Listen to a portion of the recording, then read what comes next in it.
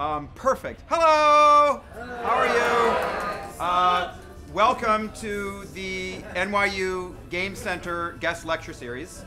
Uh, tonight we're very excited to have three of the key creatives from the new BioWare game Dragon Inquisition, Dragon Age Inquisition.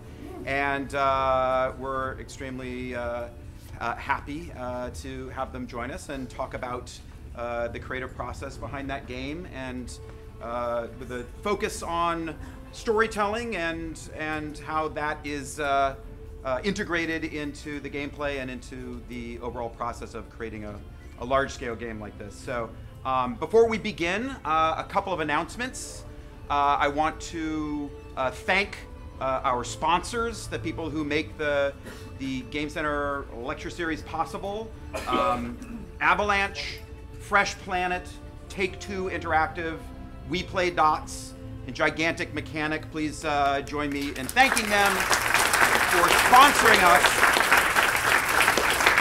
And um, I also want to thank uh, the nice folks at BioWare and EA for helping set up tonight's event. And uh, I want to mention that uh, the NYU Game Center is uh, has a, a two-year MFA in game design, which is a wonderful program here. Uh, we are uh, for we are in the process right now of accepting uh, applications uh, for admission for next fall. So. Uh, if any of you want to go to grad school and, and study game design, I encourage you to apply. If you know any talented people who are interested in, in doing that, please send them our way. And uh, in addition to that, uh, next fall, we are going to be opening the doors of our undergrad uh, degree for the very first time. So, this is a four year BFA in game design, which is going to be starting next fall. So, if you know any talented high school students who are about to graduate and would like to study game design, we are interested in talking to them. So, please send them to us. Um, all right, so uh, without further ado, uh, I'm going to bring out tonight's guests. Uh, they are creative director Mike Laidlaw, lead writer David Gaider, and the actor Freddie Prinze Jr., who plays the voice of Iron Bull. So please join me in welcoming our three guests.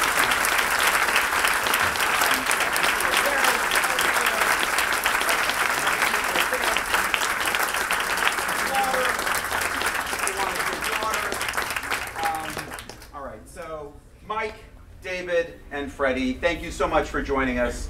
Um, here's the format for tonight's uh, event. Uh, we asked uh, each of these folks, the creative director, the lead writer, one of the main actors, uh, to each uh, choose a, a scene from the game uh, that they thought was particularly interesting, that kind of reflected one of the things that they felt the game was going for creatively. And so we're going to have each of them kind of uh, set up the scene, talk us through, uh, play a little bit of it so we can, all of those who are not currently playing the game, who have finished playing the game, uh, can kind of get a taste of what this game is all about. Uh, and yeah, we're going to try to avoid spoilers. Might be a little spoiler action. But When you uh, ask the lead writer for his favorite scene, you're Yeah. going to get spoiled. you're going to get spoiled. It's So, going to um. So now I uh, I will mention a couple of things before. So before we do that, um, let me just mention that we're we have a new kind of audio setup here. We're streaming. So hello to everyone on the internet who's watching. Um, but uh, we only have one mic uh, that's picking all of us up. Just, so we're gonna have to speak up, and I'm asking all of us to project. Freddie, you're gonna be fine, but the rest of us, I'm sure, are gonna have to struggle a little bit. Mike and I are such wallflowers. Yeah, give me a little more. So, um, all right. So, here's the thing about. Let me just say about Dragon Age. Uh, so I'm playing this game, Dragon Age Inquisition. Uh, I'm really enjoying it, and one of the things that's great uh, about we really love when there's an opportunity to bring in people from the creative team of a, of a game that's just recently launched, right? So we're, um, you know, when and, and especially I think a game of this scope, a game of this scale, uh, a, a, you know, a capital V, capital G video game product. You know, so often when we play games like this, they come to us as these very beautiful, polished, uh, you know, products of the industrial entertainment complex, right? We we get them, we we like, are immersed in this incredibly uh, rich and and the, the, the high production values and this you know this kind of beautiful, uh, incredibly uh, engaging and immersive world. Um, but there's, I think, you know, there's a, there's a quality that this game that I'm getting from from Dragon Age Inquisition that I often don't get from AAA games, which is that they're, for me, there feel it feels like there's more heart in it, right? Um, I still feel there's kind of an old school vibe uh, with this game in the sense that there's a uh, there's a a human touch that I'm feeling as playing through it. It's partly, I think, uh, the, the, the, the fact that it is, uh, it's possible to get lost in this game, right? This is not the kind of game that leads you by the hand, right? A lot of AAA games uh, really do feel almost kind of over-designed in that the way that they guide you through, the way that they they uh, kind of create this experience for you, this very finely engineered experience. This is a game with so many interesting overlapping systems this is a game with uh, that that has that uh, emphasizes uh, player choice and exploration, uh, and and it's a game that allows you to kind of wander around and bump into uh, surprising and interesting things, and and it feels like a game made that still has that vibe of when video games were made by hobbyists, uh, by enthusiasts. You know what I'm saying? And and I think there's a there.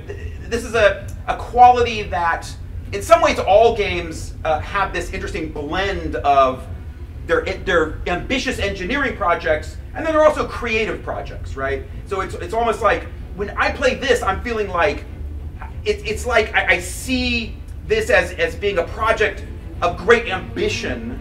Like it's almost like you're, I'm interested in hearing about this, how it was put together, because it's like assembling a battleship in one sense, but it's like composing an opera in another. You With know this what I mean? music behind you while you're talking. I know.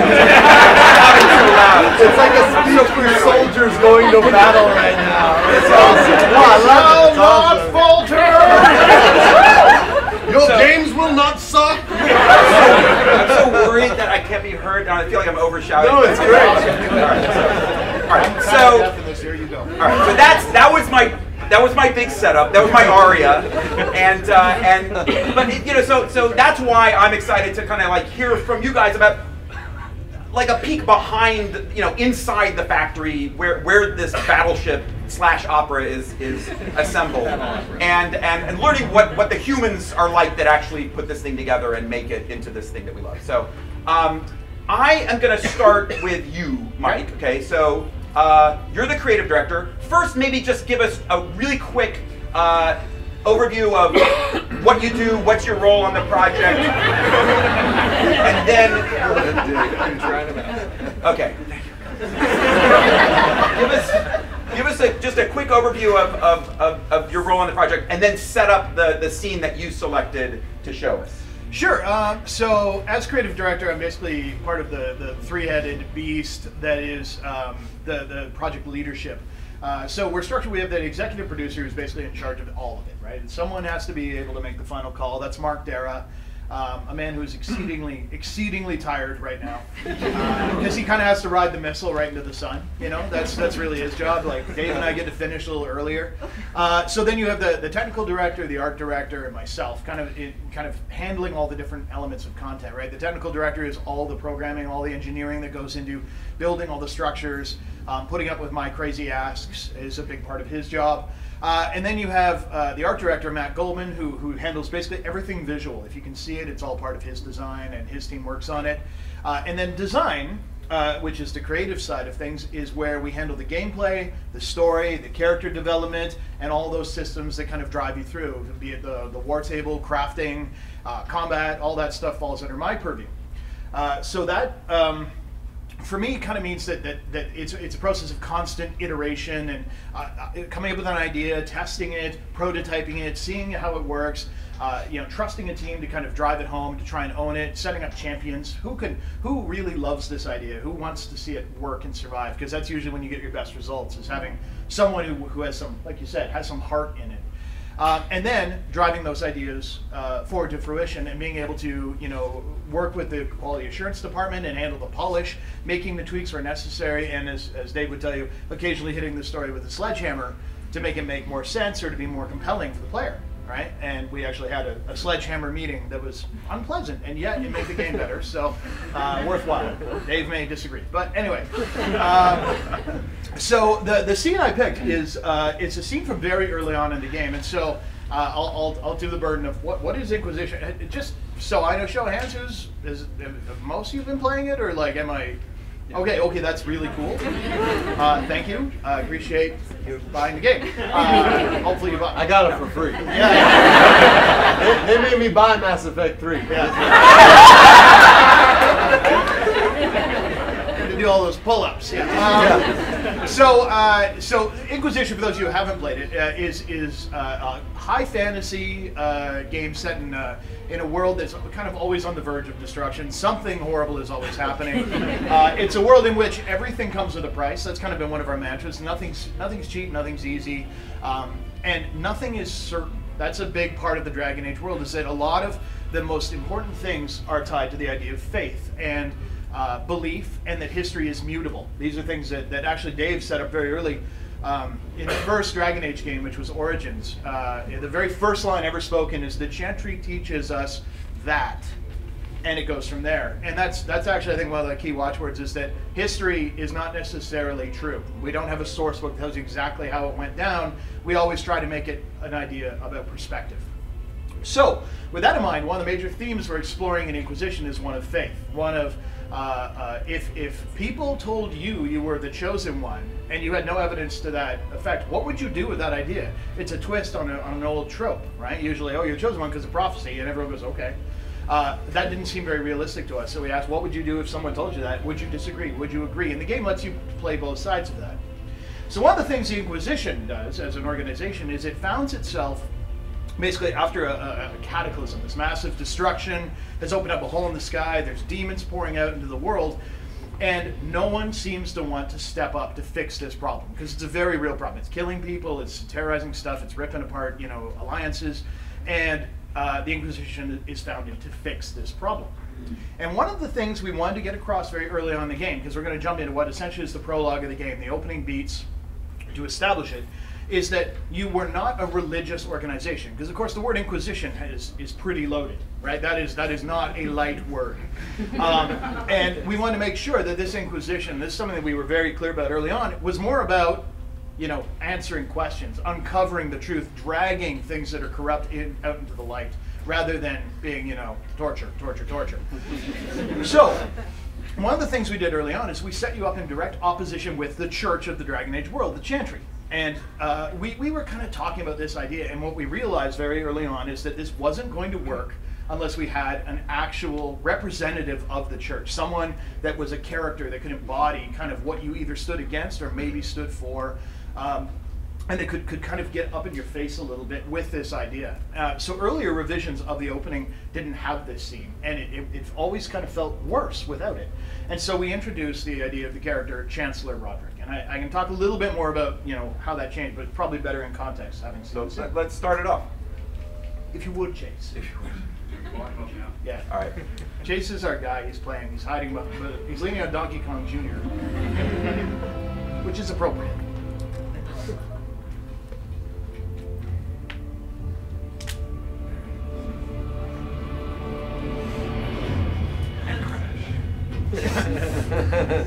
we got most of the crashes out.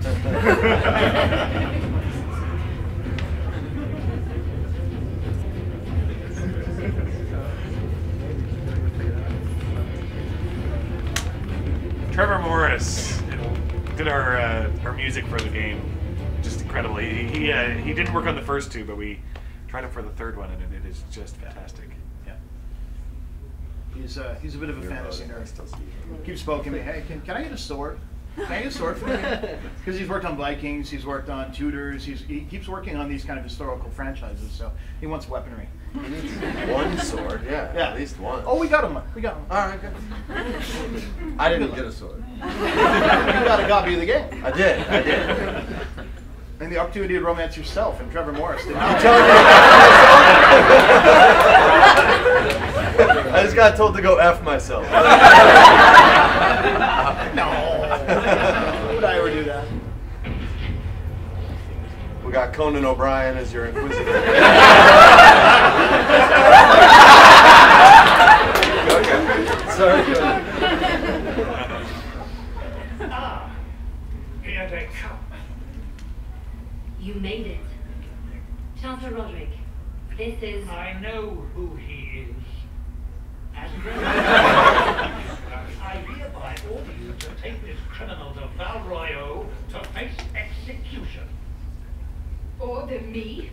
You are a glorified clerk, a bureaucrat. And you are a thug, but a thug who supposedly serves the chantry. We serve the most holy, Chancellor. As you well know. Justinia is dead. We must elect a replacement and obey her orders on the matter. So none of you are actually in charge here. You killed everyone who was in charge. Call a retreat, Seeker. Our position here is hopeless. We can stop this before it's too late. How? You won't survive long enough to reach the temple, even with all your soldiers. We must get to the temple. It's the quickest route. But not the safest. Our forces can charge as a distraction while we go through the mountains. We lost contact with an entire squad on that path. It's too risky. Listen, abandon this now, before more lives are lost.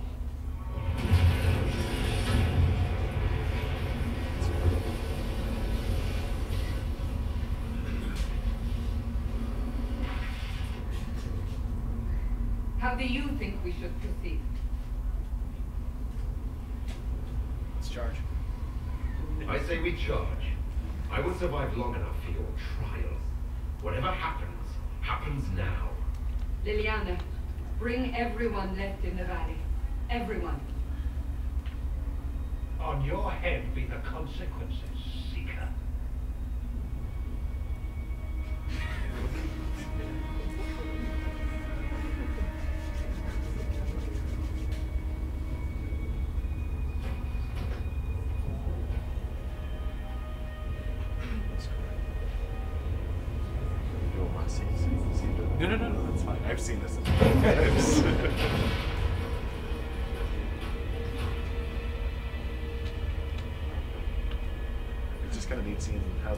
Stop there. So that scene is one that we reworked probably seven times, I think, over the course of the game. Uh, in various iterations, Cassandra is a lot more hostile against you. Um, he doesn't exist. Chancellor Roderick simply fails to exist in variations of the scene, and Leliana's filling in with his role. Um, we've had uh, we had var- variations where uh, and Varric, who are two of your other party members, are way more involved than they were in this version. Uh, in each of them, what we were seeking was essentially that sense of, of really trying to get across three big things. One, this is a game about choices, and when you make choices, you're going to see different content based on those choices, which which we just saw with the if I charge on the mountain path, I go up, I get into a big burly fight, I get to meet Commander Cullen, who, who recognizes that later in the game. If I go the other path, I end up in a different scenario. I actually rescue the soldiers, that, the squad that we lost, according to Cassandra. So we want to get that point across. So this is a game where you can make decisions, and those decisions will have consequence in not just like based on a number, but based on the experience you have as a player. So it needed to do that. Number two, it needed to set up that initial opposition.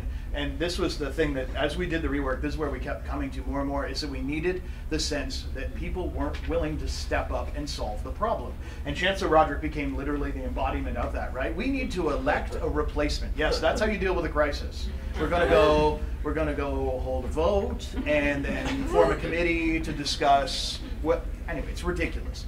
Uh, and I remember one of the things I love the most about that guy is, is um, uh, that it, it felt like one of my clearer pieces of direction where I said to Dave and his team, what we basically need is the guy who shuts down the Ghostbusters containment unit from the EPA. He needs to be evil bureaucracy incarnate. And everyone went, oh, oh yeah, we can give you one of those, right? And that, that, that actually, You mentioned that guy, and all I can think of is when Bill Murray goes, "It's true. This, This man, man has, has no, no dick." dick. That's all I can think. Yeah, that's exactly it. So, um, trying to get him into it to again establish that major theme and have him, and, it, and then I see as Roger keeps coming up as this sort of um, almost bureaucratic antagonist throughout the course of the game. Yeah. He's always showing up to go, "Oh, I suppose you think you're doing good, right?" And he's, he's always kind of this d bag through the course of your adventure. For Um, the and first yet- part. Yeah, first and part. yet and yet he is an always that. spoil. But I'm not going to Yeah. Um, Though I think your part may spoil that. Anyway, which would be an interesting, interesting off. So, Awesome. so just kind of recognizing that sometimes scenes have they have to serve more than one master, right? We're Yeah. teaching a chunk of gameplay while we're also trying to get a major theme across, and that, that there's so much iteration involved in trying to get that together. And I still, you know, I still think we could give it one more try, Dave. it's not too late. It's not too late. No, it's really. Um, all right, let's uh, let's go to, to David next, and uh, maybe first tell us about like give us just a little bit of background on what you're how you're involved in the project and how you got started and and what you do on a daily basis. Uh, okay, I'm probably the person who's been on Dragon Age the longest. Uh, I started way back when we when Dragon Age Origins was just a, a, fantasy twinkle in in, in Bioware's eye, uh, where they said, you know, go off and make a world that's sort of, kind of, sort of like Dungeons and Dragons. Yeah. but not. Uh, and I did. And I came back and I said, well, how about this? And they said, perfect. And first draft it is. Yay! Um, That that really happened? yeah. Wow, that's I've never. That's awesome. Sorry. To be That's, But- fair, it was a really good first round. yeah. and, and it changes and evolves. Like that, that there's you know people get added onto it, and so suddenly uh, we had so much lore accumulated. It was way more than one person could do. And I mean, uh, I'm the the head of the writing team. Uh, and at the height of a project, I'll have up to seven or eight writers working underneath me. I mean, uh, the the size of the, the, the amount of writing we put into our games. Um, Dragon Age Origins had upwards of, of 800,000 words. Uh, this one, Inquisition, I think is a little bit smaller than that. I think it was about uh, 600,000. No, it was 750. when we Was it 750? Yeah. I didn't know there were that many words. yeah. I Yeah. had a lot. Well, and and that's that's just voice because there's another 300,000 in the books. Yeah, there's all the codex entries. Yeah, Someone has to write all that. It's not just me. There's a lot of writers who work on this. A lot So- of us nerds read those codex. entries. There you go. so really, it's a matter. Uh, half my job is I, I have I have the same amount of writing tasks uh, as anyone any one of my writers. Like I, I wrote, uh, if you played the game, I wrote Cassandra, I wrote Dorian. Um, I wrote the, the prologue seven times. Well, actually, I only wrote the last four. I guess they, they, we just switch writers. Um, you know, and, and so I have my tasks, but my job is also to coordinate the writers uh, so that we we have uh, um, principles we work on so that when you play, unless you know the particulars of the writer involved, you shouldn't get a sense of oh this is a totally different writer. It should have a have a, a flow that, that sounds like it, it was all written by the same person, even though it's not. Uh, there's a lot of lot of uh, work on us putting our heads together, and I think most importantly, um, the the thing you have to do is like when we talk about the prologue being written seven times. There's it's very rare that any part of the story d- d- doesn't change by the time we're finished. The, as a game developer, it's not about who has the big idea. I mean, I could come and say, "I got an idea for a story."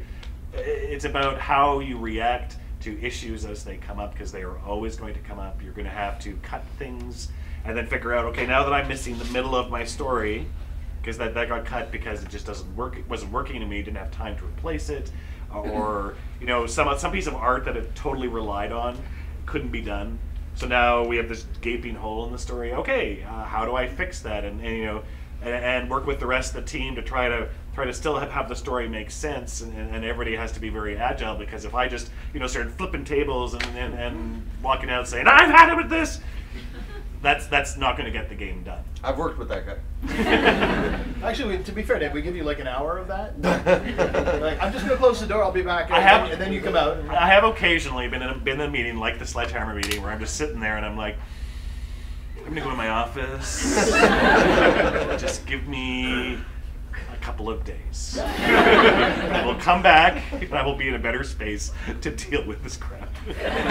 It's a grieving process. It's, a, yeah, yeah, you, you will, especially, A grieving especially process. Sometimes you cut things that you that you really are attached to, and, and it's like you know it's got to die. Yeah. You got to kill one of your babies just so the other ones can live, and and, and you do it, and then you're just sitting there like, I'm sorry, I'm sorry, I'm sorry. What weapon are you holding right there? the murder knife. Okay, the murder Murder knife. knife. There's only one.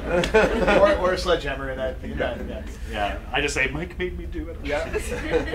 Yeah, so you, you, you just uh, and sometimes you just gotta let go of the story that you had in mind because I mean uh, everyone everyone Bioware games are very story driven, but the story can't be the only thing. There's no one master when it comes to the game. I mean uh, the gameplay can't exist without the context of the story to make people care, but we can't have the story alone without the, the gameplay to support it to make it fun to get people invested in, in things like progression.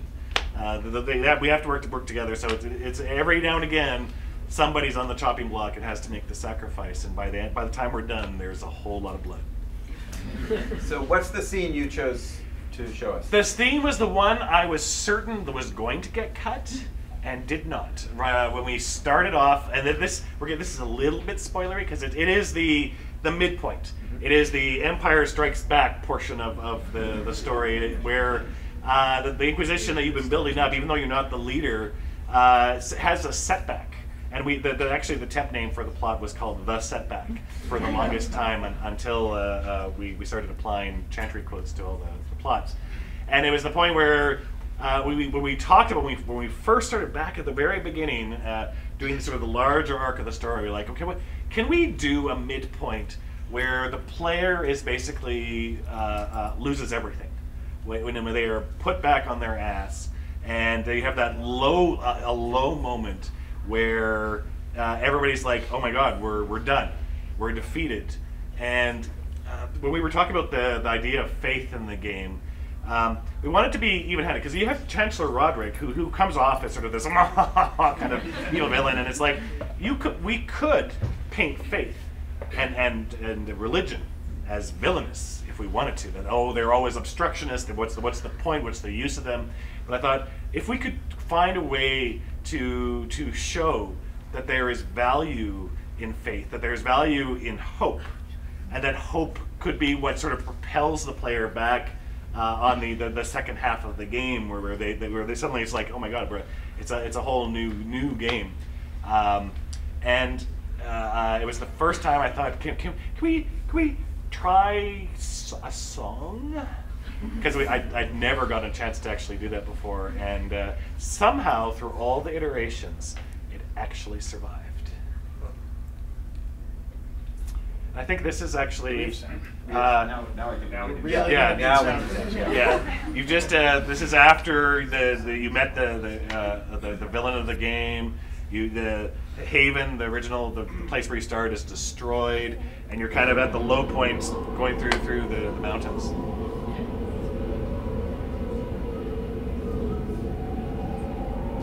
See that fire out. You guys see that fire get blown out by the wind? Little things like that are video game porn for me.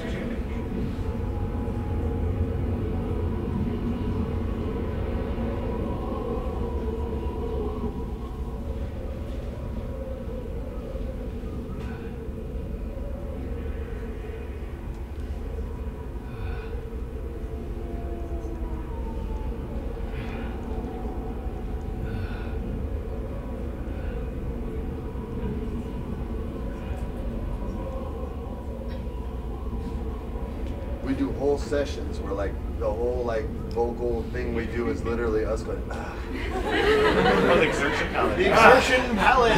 like it's a whole it's a whole mission that we have. This like takes an hour. The best thing is when the audio room is, is looping through and they're mastering all those, it sounds like someone's having sex. there. For sure. that the worst ah. bathroom experience of Oh, their yeah. life. Ah. yeah. Someone. You pass by in the hallway and you're like, double take. Yeah, are they working?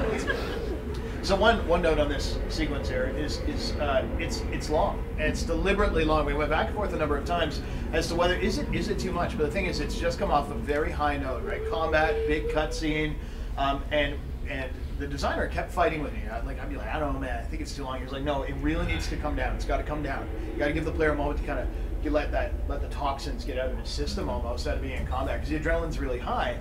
And and as I played it more and more, and it got more final, and I was like, you know, actually, I think you might be right. We do need this slow moment to really sell the whole. You know. Yeah, you literally just had a fight where you're having to repair things within a uh, within a stronghold and have direct battle with demons, and you're having to do like 12 things at once and micromanage, and then it literally smashes you to this. Yeah.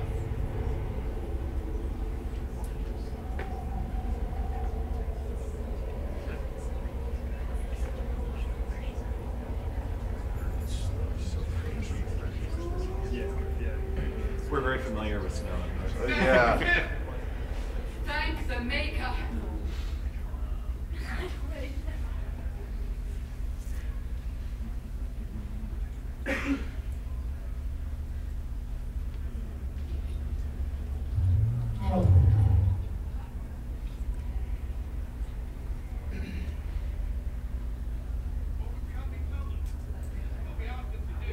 We cannot simply ignore this. We must find a way. And who put you in charge? We need a consensus or we have nothing. Please, we must use reason. Without the infrastructure of the Inquisition, we're I hopeless. can't come from nowhere. She didn't say good. Enough! This is getting us nowhere. You need rest. They've been at it for hours. They have that luxury thanks to you. The enemy could not follow, and with time to doubt, returned to flame. Infighting may threaten as much as this Corinthians. The only thing yelling gets us is a headache. Another headache. They know. But our situation, your situation, is complicated. Our leaders struggle because of what we survivors witnessed. We saw our defenders stand and fall. And now we have seen him return. The more the enemy is beyond us, the more miraculous your actions appear, and the more our trials seem ordained. That is hard to accept, no? What we have been called to endure. What we perhaps must come to believe.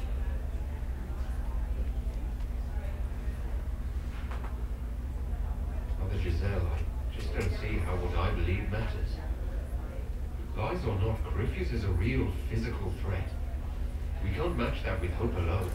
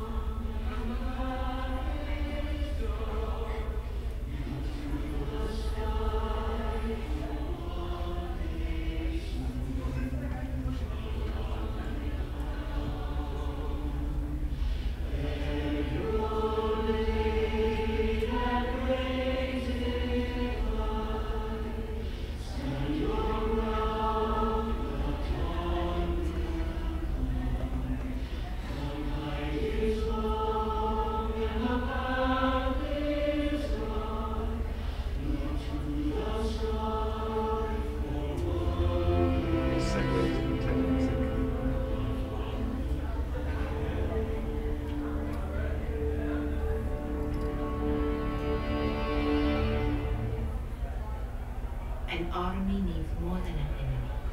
It needs a cause.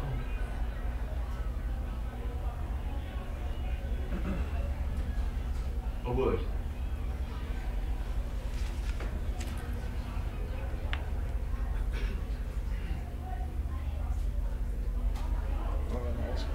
Sorry? All words go. Uh, we could probably mess it in here. Yeah, All right. Yep. Nice. Yeah. A wise woman, worth eating heeding. Theo? You guys, you guys got skipped right there. We'll save we'll save a few extra spoilers for you. Yeah, beautiful. Um, Freddie, why don't we uh, move on to you now? How did you get involved in the Dragon Age series? And uh, Yeah. and yeah, what's what's your what's your role? Um, all right, you ready? Uh, you know, I auditioned for it like anything else. Um, and the original concept, you know, video games keep the things very, very secret. Um, and so you didn't know you were reading for Dragon Age. I think I was reading, I don't know what they called it, but, and it wasn't the, the Chargers, it was like the, the Blazing Bulls or something, something like did you do that. that? What's that? We, we changed the names for, for each uh, uh, person we send it out to, so that there's a leak. That's where it comes from. That's. Star Wars did the same thing. It was like the Wolf Pack instead of Rebels, and it just read like a bad Thunder of the Barbarian episode. sucks. Oh, it's Star Wars. I mean, that's right. so anyway, I, I went in to read for this, and, and the description had him very sort of alpha male and, and the opposite of the Qunari that, that we're that we've known and that we're used to. And my initial read, I wasn't nuts about, but I, I still was booked the job. But he was, I just did him very sort of. There was no real voice to him. He was just sort of an alpha jock who talked like this and just didn't care what you thought, and that didn't feel perfect to me. And so when we, I, I booked the job and I sat with with Caroline and we kind of discussed who this guy was and, and what he was. And I kind of combined two accents. There's this, my daughter watches Mickey Mouse Clubhouse, and uh, there's this character named Thunder and Pete. And he always says, hey, Mickey the Mouse, how you doing? And it's a great voice actor. This guy, Jim, was just incredible. And I kind of combined that with Winston Churchill and sort of came up with this voice that, that went from Mickey the Mouse to all of a sudden he became the Iron Bull. and it was something that just sort of organically happened with having a good relationship with Caroline, who I worked with on Mass 3. Um, she's really good with, with actors. She's she's very empathetic, even if she's not there. A lot of times I just get her in my ear. And uh, so we sort of get this this character that, that these guys came up with in this dialogue that Patrick Weekes wants me to say. And you're looking at some of these lines and it's just like if you played the game you know what I'm talking about. You're kind of like Alright, that's not James Vega at all. So you know the approach is one of, of trust with the director and you just sort of go for it and it ends up being some of your, your, your favorite lines, the ones that you were the most afraid of, right? Like what and, I, and this is a good lesson for life. What you're most uncomfortable with, you should aggressively attack and pursue. And that's kind of that's kind of what we did with this. And we came up with this with this voice that sort of I had more and more fun with as as the game as the game progressed. And he was this character that I I fell in love with so much that there's without spoiling, there's a scene that I'm literally avoiding like the plague in this game because I know the choice I'm gonna have to make and it has to do with Bull. And I fell in love with this guy. You have to understand, like, actors, there are certain characters that they love, there's certain roles they play that they could care less about, there's certain roles they play that they hated, um, and everything in between. And this was a guy that I loved. And I don't want to spoil things because it is a very special moment and you have to make that choice. And I refuse to make it. Like, I literally am doing every side quest I can around him just to not have to put him in that position. Um, and so to describe him, you know, the original description was like that. He was Lawrence Taylor, basically, right? The, the old linebacker from the Giants, and he didn't care about your rules. He didn't care about your laws. He was Brian Bosworth if he made it, right? Like if Bo Jackson didn't blow him up in that one game, right? Like, and he just sort of like walked away. And this, you're talking about a guy who walked. He's like a defrocked priest, right? He's like a like a Ronin warrior, maybe something you guys are more familiar with, where he serves no master, but still is slightly under the control of the, of the the Qun government, religion, whatever you want to call it, whatever term you choose is fine with me. I don't believe in either. Um, so, so we kind of came up with this guy who loves this world, loves humanity, loves drinking, loves getting drunk, loves having sex, loves having fights, loves he embraces that lifestyle and he's not ashamed of it. He's a mercenary. He's you saw the trailer. He's like, "There's money on the horizon." Like, you know what I mean? Like that's that, that's his philosophy. And it's not until your Inquisitor sort of proves themselves that he literally has these moments. And I won't spoil things, but he wants you to feel good about the job you're doing, and he takes you to intro. He almost introduces you to your soldiers without them knowing who you are, so that you can get a sense of how you're affecting the people who believe in you, and and that's when you know you got it right. That that's and that was sort of the magic about Bioware games is it brought accountability back, right? Like I'm old enough to be a part of the quarter generation, where video games were designed for you to fail, so they could get as many quarters out of your pocket as possible, right? And then the new generation is the God mode generation, right? Which is like, I don't want to ever die. We have easy mode, very easy mode, super duper easy mode. We have codes that give us a million bullets and a, and a million lives. And now we don't know how to deal with failure. And when you guys play me in multiplayer games and I kick your ass, that's why. Uh, so don't, don't feel bad about it. Just you know, embrace that. But what what Bioware did, and, and I don't know if they were the first to do it. Um, I'm, I may be giving credit where it's not due, but that sort of character wheel and the, the old school philosophy of like the choose your own adventure books, which the author of those just passed away recently, a couple weeks ago. Rest in peace. But uh, but if you're not familiar with those books, I mean, it's like you know, if you if you agree to this aliens deal, turn to page 47. If you don't agree to it, turn to page 88. And that I literally the first time I sat down with a Bioware game was Mass Effect, and I stopped. I dropped the controller, and I was like, oh my god, it's it's choose your own adventure. And I was hooked from that moment on because video games had zero accountability. You could kill, slaughter, hack, slash, smash, Dragon Ball Z Kai, anything you wanted, right? Like there were no repercussions for your actions, nothing, nobody cared. And if they did, it didn't matter. In a Bioware game, they'll leave you.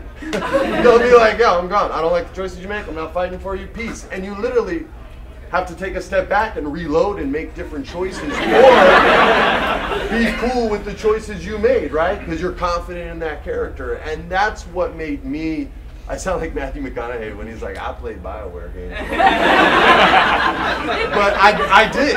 I, I really did. And that was a big attraction for it. So to get to grab, you know, grab onto this guy, the Iron Bull, and he had so, and I love James Vega, but this guy has so much more depth and so much more heart and soul that he's willing to give you once you earn it that it's uh, it's one of those guys I'll never forget. I mean, I'll I'll be real with you guys. I do the voice just for fun. I do it. I'm not joking. I do it just for fun. A buddy of mine was like, I used to memorize speeches when I was a kid. I loved like old, you know, whoever did it, but it used to be American speeches. I had Jesse Jackson's uh, uh, when he was nominated. He wanted to run for president, and however you feel about him, that speech he made was unbelievable. That wouldn't work with the Iron Bull voice, but Winston Churchill, money. So somebody asked me to do one of his speeches and change it up a little bit. And I literally did it on like a SoundCloud file. I think I tweeted it out. You can find it somewhere. But literally, it was straight up, we shall not flag or fail. We shall fight on to the end. And I just put in Ferelden instead of France. we'll battle in the streets of Orleans. We'll battle in the hills. We shall never surrender. All that crap. But it's, you know, he's that kind of guy to me. He's Winston Churchill. He loves his drink. He loves to fight. He's had epic failures like Winston Churchill did early in his life. If, if you're familiar with history, if not, step it up. Um, but for him to become this type of not leader, but a person willing to take orders from someone who's earned it is what makes this game, is what makes BioWare games not just AAA and capital VG. It makes them special, it makes them important, and it affects cultural change. Like these are the types of games that change the way other video games get made. And that kind of stuff is important. Like you rate you rank your top five anything, and it should be because they had cultural change. Like my top five stand-up comedians, right? It's Lenny Bruce, because if there's no Lenny Bruce, there's no comedians. It's Richard Pryor, because he's the best. It's George Carlin because of his social change. It's Carol Burnett and it's Eddie Murphy. And those are my five. And you can, if you want to sub out Carol and, and Eddie for your other two favorite, that's fine. But those top three cannot be debated. And my dad was a comedian. I ain't putting him in there. I? And I love Robin Williams, but he's not in the top five. I'm talking about cultural, social change, and that's what these types of games have done. Think of the game, a game that you played that wasn't Bioware, that had accountability. I played Deus Ex. I made choices. I didn't care. you, you, know what I mean? That cop was mad at me. He came to my apartment, shot him. you know what I mean? Like, hey, don't don't mess with me. In these games, it matters and you care, man. Like it, it, it broke my heart. And I shouldn't say this because you won't hire me for another game. But in Mass Three, when when the loyalty missions were gone, it was like, oh, oh, oh, oh no! Like, and it freaked me out because in Mass Two, it was such a way to get to know these characters. And if you didn't do those missions, you were gonna lose them at the end. If you haven't played the game, I just saved you a ton of pain. um, but that's what it's all about for me, man. I'm, I- you know, I've played games. I'm old enough. I'm 38 years old to have played the first video game to this, and I've seen how they've evolved, and I have very strong points of view on them. And when I see a game like this, and if you, if you follow me on Twitter, you know that I play. Like I'm sending photos, like this is what I love. I show, you know, my daughter skydives in GTA. It's the only thing I'll let her do in GTA, right? She- I'll do a private lobby and she'll jump out a helicopter and she goes, Dada, what happens if I don't push the parachute? I go, well, you can see if you want. And, she, and my character splat and she cried. he came back to life. She was okay. Everything was good. But, you know, I show these types of things to my kids and it just blows them away. You know, I showed her that trailer of, of Iron Bull one-shotting that giant, which you guys should let me do in the game, but you don't. Um, and she literally, you know, she's like, Dad, it looks so real, Daddy. It looks so real. When she understands that, and, and I'm a graphics whore. Like, if you make great graphics, I'll buy your game. But if it sucks, I'll tell you it sucks. And to get to have a game that's beautiful and gorgeous and give you, I told you I wouldn't stop talking. Um, and it's gorgeous and beautiful and it has story and it's character driven that's game over, man. Everybody's seen like movies are now stealing from video games, whereas video games used to steal from movies. Like you know, suddenly you're gonna start seeing dialogue in the third acts of films, of action films. It's gonna be crazy. Somebody's gonna talk. It's gonna be weird, and that's because of games like this. It really is, and so that's. That's the long-winded version of, of, of why I love Iron Bull and why and you know why I just mark out so hard for these games. Awesome. Well, well, well said. No, What,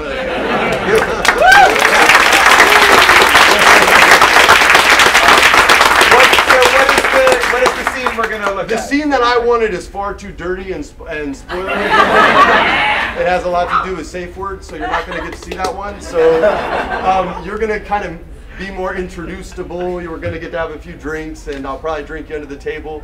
Um, which in real life you all would drink me under the table. Um, but uh, yeah, the one I the one I this wanted. is in this is in reaction to your like you were saying like these characters kind of grow in affection they earn Yeah, man. this only happens after you've gotten to know Bull Yeah, and you don't get to just hang out with him. Yeah, you, you literally you go to battle with him and he talks to you about these battles you had. I mean, there's nothing he wants more than to kill a dragon. And if you do that with him on your team, I mean, even when you see it circling, he's like, "Can you see it in the sky?" Mean, he's like he's like a kid at Disneyland, right? So when you get a chance to drink with him, that's what you're celebrating about. It's not just oh, let's have the random drink with the Iron Bull like in a lot of other games. It's all character driven, and he talks about story a lot. But what they do best is character driven games. Everybody's seen 24.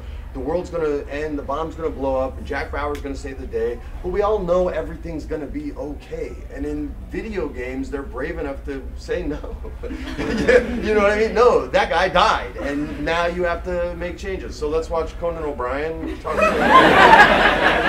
I did a Twitch feed with Team Coco, and this was the character they created for Conan.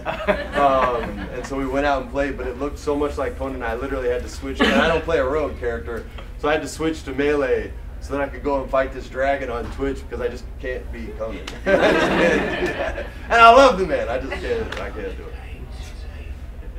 Out of his mind at the end. Smile. should be off to the right behind the bar This song is so addictive. I'm telling you, Lord, that's great. She sounds like Lorde. It's great. There he is. That's his favorite seat. Inquisitor, come have a drink. To killing a high dragon like warriors of legend.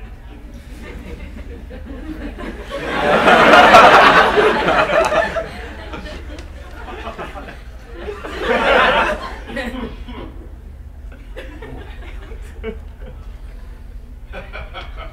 know, right? Put some chest on your chest. right before it spat fire. And that roar. What I wouldn't give to roar like that. The way the ground shook when it landed. The smell of the fires burning. Tossed it a Than Halsam. You know, Qunari hold dragons sacred. Well, as much as we hold anything sacred. He's already drunk, Here. by the way. What Drink. What was that Qunari phrase? Take it, take it, take You it. want the Qunari phrase? I do. You shouted it during the fight, too. What does it mean? Oh, toss it a thought and how settle. Closest translation would be, I will bring myself sexual pleasure later. Can't show my daughter this one. I know, right? You're not done drinking. Drink up.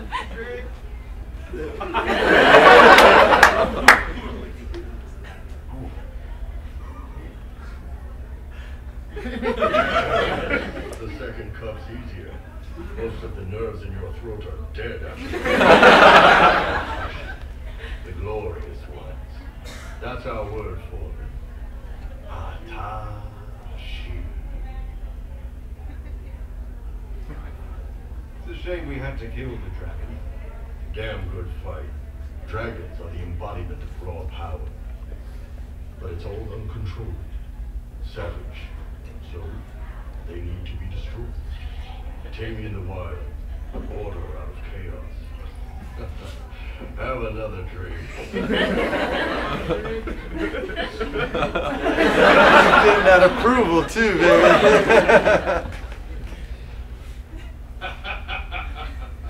nice. Dragons.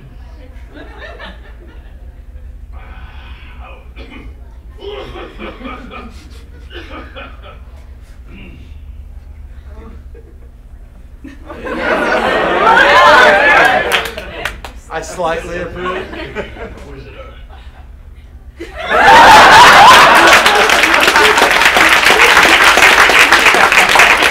Uh, let's, um, why don't we, let's turn the Xbox off. I knew you were gonna pick We're, this. we're going to. Uh, those were awesome. But let's let's move our chairs into the middle, happy. and um, we're gonna open it up to Q and A. But before we do, I'm gonna ask a couple of questions, and uh, I, I get to, to, to do my uh, sort of inside the the game designer the studio. studio, yeah. and. Um, and then we'll then we'll do some some Q and A from from the folks that uh, are here. But uh, I guess uh, one of the things I want to ask about to begin with, If Andraste exists, yes, what would you say? What would you want him to say? Her to say? Is that Um.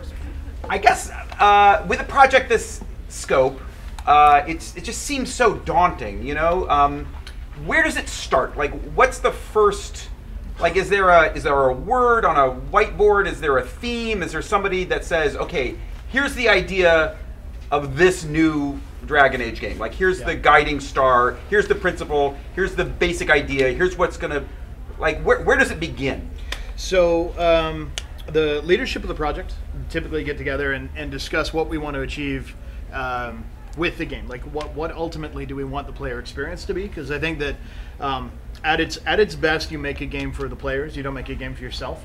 Uh, it should be one you enjoy. It should be one you're proud of at the end of the day. But um, when you when you think about as a player, what should I be experiencing? It comes across better, and it helps you it helps you contextualize the decisions you make. Um, for Inquisition, we had the we had the uh, the double down difficulty of switching technology. We moved to the Frostbite 3 engine, which uh, at the time we received it was exceptionally good at water, explosions, smoke, tracer fire, Lots of tracer rounds. and Dragon lighting. It was not very good at save games, crafting, conversation systems, handling a million words of dialogue. Yeah, like it, it, it, it had it had challenges. So we had a bunch of work we had to do, kind of from the fundamentals to build the the thing, and we knew that was going to be the case. So um, it also had a, a huge opportunity, which was to take Dragon Age and make it more open, right? Because it was it was an engine built so that guys could be fighting beside tanks and under jets that were dogfighting, right? So it could do big spaces in a way we could never do before. Um, and so we saw obviously you know the success of Skyrim. You you look at open world gaming and and more. Um, I guess system driven gaming where it's like, hey, this is a thing you can go do and it doesn't really require story. And we saw a lot of appeal to, do, to bringing some of that back because it puts the onus back in the player's hands. So that was a, a factor for us is how can we do that? But the other really important part to us was not to lose the Bioware, right? Not to not to toss out storytelling and not to make narrative a, a third class citizen or anything like that. So what we what we tend to do is we tend to try and find a statement that we feel encapsulates what we're trying to go for, and that can't be like be a human elf dwarf or Qunari who is in charge of it. Like you, it, once it gets too detailed, you've lost it. So the one that we settled on, and again, it, it goes through it goes through like everything, it iterates and changes. Um, but it was it was uh, immerse yourself in a vast world of companions, choices, and consequence. Right. So those those are very important, right? Because obviously immersing yourself means that we had we had an overall project goal of everything feeling like it was part of the whole. A vast world was was stating our goal of making sure that it was big, that it was that it was a, a- an enormous space, and I think we, we hit that.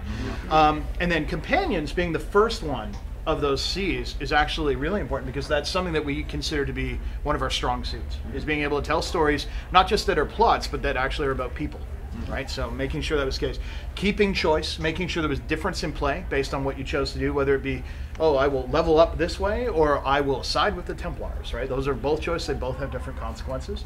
And then con- and consequence being that that choice has to pay off right? That, that if you're going to make a choice and dave and i talked about this a bunch of times um, it, it, we shouldn't offer the choice unless we have some way of varying the experience based on having done so.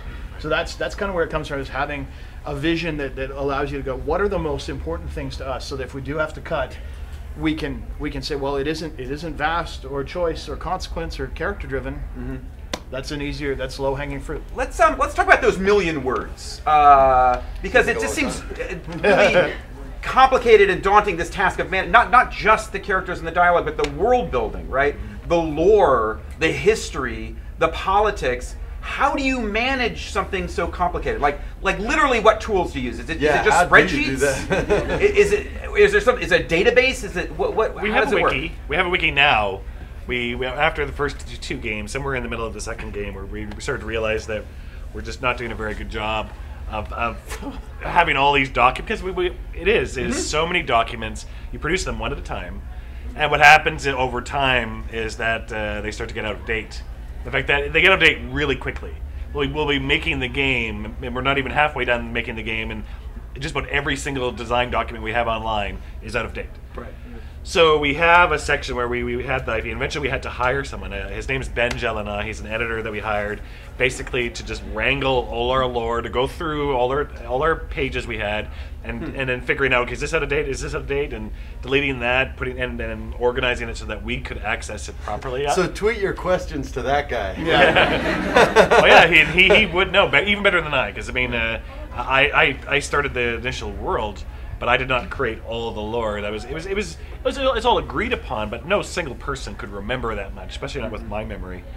So uh, it just so we that we had uh, somebody that we could run things by, and he might not know personally, but he could always he could always fact check. And the editors are they're they're basically a, not not just our grammar checkers. They're our fact checkers. They're they're sort of our our, our gut checkers uh, Right. when it comes to the, the overall story. And we couldn't do it without them. I'm, I'm pretty sure that the editing team we just collapse. Yeah. Like they, they are kind of like this connective tissue across writing, going over to voiceover, to localizing the game to put it in French or German or Mm-hmm. Portuguese. Like they, they, they kind of are involved in every step of all of those processes. We, ha- we have so much writing to do that uh, we, we just can't uh, uh, uh, manage it all, fact check, and then even like like he was saying, the, the simple process of going through and uh, preparing each line so that it enters the pipeline and gets recorded.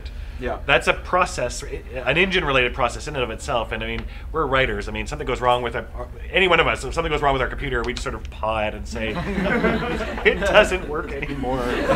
Don't ask us to do really, really technical things. That it's just not going Right. to happen.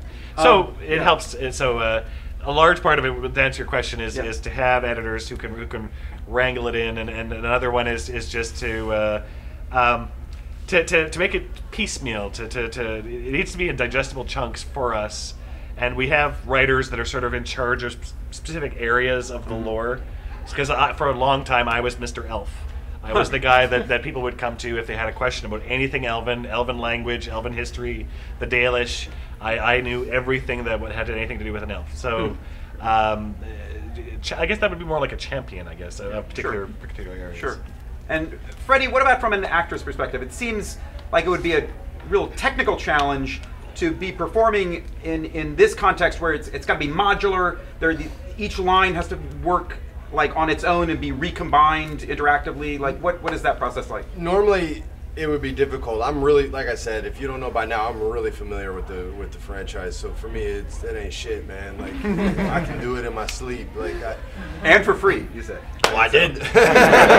um, but yeah, like you know, you're basically doing three performances. When I did Vega, there was a lot more that we had in concept that made it to the game, right? Like we had this idea where you could come down and you could drink with with with Vega, right? But if you didn't come down and hang out too much, his response to you wouldn't be as positive. It would be a little less sort of like, "Hey, man, you're, oh, you're gonna slum it with the grunts today? Nice." Um, so you have sort of three different performances that you're giving. You're as the lead of the of the game is as Shepard's giving you a his paragon or his badass or his ambivalent sort of answer to you.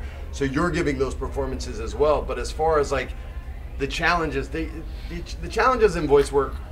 You know, when I first got started in it, I wanted to be a, a stay-at-home dad, and there's not much work in LA, and, and voice work became an option. I was like, well, I'm a pretty good actor. I can handle this and it was way more challenging than I thought. I didn't book shit for like the first three months, and because in acting, you know, if I'm uncomfortable with you, I can turn myself. I can fold my arms the way you know you are right now. I can kind of, you know what I mean, and you can know that I'm not that I'm not wanting to be that close to you. But in a booth, I don't have that ability, and, and it may not play. So you have to really sort of trick your brain to kind of not force the performance because like those you can tell when a guy in a video game who doesn't play video games is forcing uh, his character and literally will make me stop playing your game. I don't care how good it is. If the actor sucks i just stop.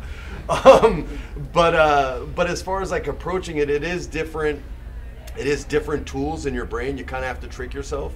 Not to get off topic but when i do you know star wars i pretend I'm using the mind trick. You know what I mean? I, when I did Vega, this the this guy David, who was our sound engineer up at, uh, they they went out of business now. Te- Technicolor in Burbank. Um, he gave me this toy, this yellow toy gun, so I could hold it during all the banter stuff. So I could feel more comfortable with it, and it just little tricks like that to make it more real for you. Otherwise, it really is just you and a microphone. It's very rare that you get the other actors in the booth with you. It's very rare that your director is face to face with you. Like I said, Caroline's in Edmonton, so we have a good relationship, but it's still, you know, earphone to mic, which isn't ideal. You want that that organic vibe. So anything you can do, they're not going to give me, you know, a, a two-handed axe I can swing around. It'll be really cool, by the way. Um, we'll see. But well, maybe. But uh, but yeah, so I try to do things that, that make it real and and and won't affect the sound quality of the mic. You know, there's a lot of times where you're really going at it and they're like, hey, I can hear your pants moving, or can you take that change out of your pocket, Freddie? Or, you know what I mean? Like little things like that. But as far as, is it a challenge for me to do this kind of game? Hell no. Like, nice.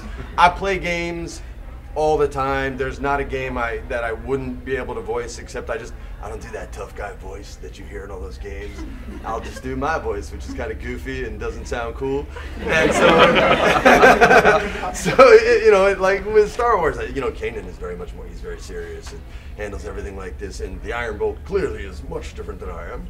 Um, and me, I'm just sort of like, hey, so, so you know, you make those types of changes, but uh, when you get character-driven games, so much is laid out for you. And if you're familiar with the franchise and you know the enemies you're fighting and you know the types of weapons that you're using because you've actually used them, it, uh, I would rather do that than, than she's all that any day of the week, man. it, just it's it's more fun for me. It's more satisfying creatively. Uh, just incidentally, uh, when he says mentions Caroline, that's Caroline Livingstone. She's right. the head of our, our voiceover department. She's the uh, truth. She's the one who makes it all come together. if, if you've played Bioware games, uh, I, I think that we do an excellent job of, of the voiceover. Yeah. I think perhaps I, am not. I'm, I'm going to toot our own horn. I think we've got to do it probably better no, than Seth, any other game out there. Seth Green and I bow down to her often because she's just she's worthy of respect. And, and Caroline is one who pulls it she, all together. Yeah, man, she's a real solid director. We've all worked with her from Mass Effect to Dragon Age, and everybody loves her, man. And every voice actor I've worked with apparently has worked with her. I work with Steve Blum a lot, who's done every voice for every game and cartoon you've ever seen, and he knows her on a first name basis, and he would tell you the same thing about her, and he would tell you guys how lucky you are to have her. Oh yeah, awesome. we know. Um, I want to ask about a particular uh, quality of the the texture of the, the world that is in Dragon Age Inquisition, in, in, in, that it is very diverse, right? It's diverse racially and in terms of gender. Um, kind of unlike this panel, which is four white dudes. Uh, it's actually Hey, take it right? easy. I'm a Puerto Rican. Okay, there you go. uh, but you know what I mean? Like it's it's and and I, I guess part of my my question is how much of that is a reflection of a kind of uh, real intention to express more contemporary values, you know, your own values, and, and make it more cosmopolitan and, and, and multicultural and, and more contemporary. And and it seems like part of it also is just a reflection of the commitment to player choice and player agency, and then it kind of falls out of the of the formal quality of, of having to respond to the fact that that the players are creating their own characters that you don't know it has to be modular it has to be diverse uh, so so how do, how do you guys think about that issue Um, you mentioned it. Is, you asked, was it intentional? And I think it has to be intentional. Um, I mean, the majority of the people who work at Bioware are really any video game. They're they're going to be white men. Uh, so if you if we just sort of did it, things without really considering it, we would just make a game that completely reflected ourselves. But we have a larger player base. We have people of all ethnicities, uh, both genders, all, all genders, I'll say, uh, who are also part of our audience. And it's and it's not that they, you know, we need to do this in order for them to play. They already play, but there are more people out there and and who would be willing to play our game. And I think it's incumbent upon us to intentionally uh, have our game reflect the people we we want to invite to play our game. And you have to remember, video games have been doing this for a long time, even before BioWare. Like you can go all the way back to EverQuest and find the Erudites and the mm-hmm. Wood Elves and and whatever other. I can't. I was a Wood Elf. I can't remember the other races there. Yeah. But you know, like if you go to in in Hollywood, if you go on an audition and it says you know minority, you see every minority there. Like they're not mm-hmm. writing a character for a black dude or for an Indian dude or for a Chinese dude. It's just like, yeah, whatever. As long as we get a minority and fill the quota, nobody will complain. Hmm. And that's how Hollywood really is. And games have always been braver than that. Like if, if TV has a gay character, they're like, we have a gay character and we're going to put it in entertainment news so everybody knows we're cool with it. Like video games don't do that. They go, yeah, he's gay. That's it. That's So it. what- Or he's asexual. You know what I mean? Or he doesn't care. Like it's not. It's they do it intentionally, but they treat it with the proper respect. Whereas the the business that, that I came from really doesn't. It, it never did. Like if you were. If you're Latino, you're going to play a drug dealer a lot. If you're black, you're going to play a drug dealer a lot in Hollywood. That's just the way it goes. It- uh, it's just the way it goes. If you're Indian, you're going to be working in the convenience store that a black guy or Latino guy is robbing. Like that's just the way Hollywood works. And video games refuse to do that. You know what I mean? They really do put forth a, a concerted effort of courage to actually do that and know that society won't freak out the way Hollywood thinks they will. And you don't. You know what I mean? Yeah. Like everybody plays, everybody loves it, and it works. but, but let's say but bioware does it more i think than, than a lot of video I would games, say they do, right? but They- they, they're more they weren't the first. I just, Yeah. you know, Yeah, and I'm not true, trying to say true. you Yeah. guys weren't the first. Ha ha ha. No, No, But ga- games have had bravery to do that where I don't think my business always has. And, and I think um, one thing that, that we do we do very consciously and we have for, for years is um, we're actively trying to broaden our internal horizons. Like Dave says, you know, there could be a bunch of white guys. Yes, could be. We struggle against that wherever possible. I think that perspective is probably the most important thing. I mean, we're building fantastical alien races or fantastical fantasy races. Um, there is no need to have a singular perspective on that. You want to be able to get as broad a perspective, as broad a voice as possible. And I mean, you know, uh, thankfully, half our writing team is female right? So we have, we have a bunch of lady writers, and they're they're awesome at their job. Um, Applaud yourselves. Applaud yourselves.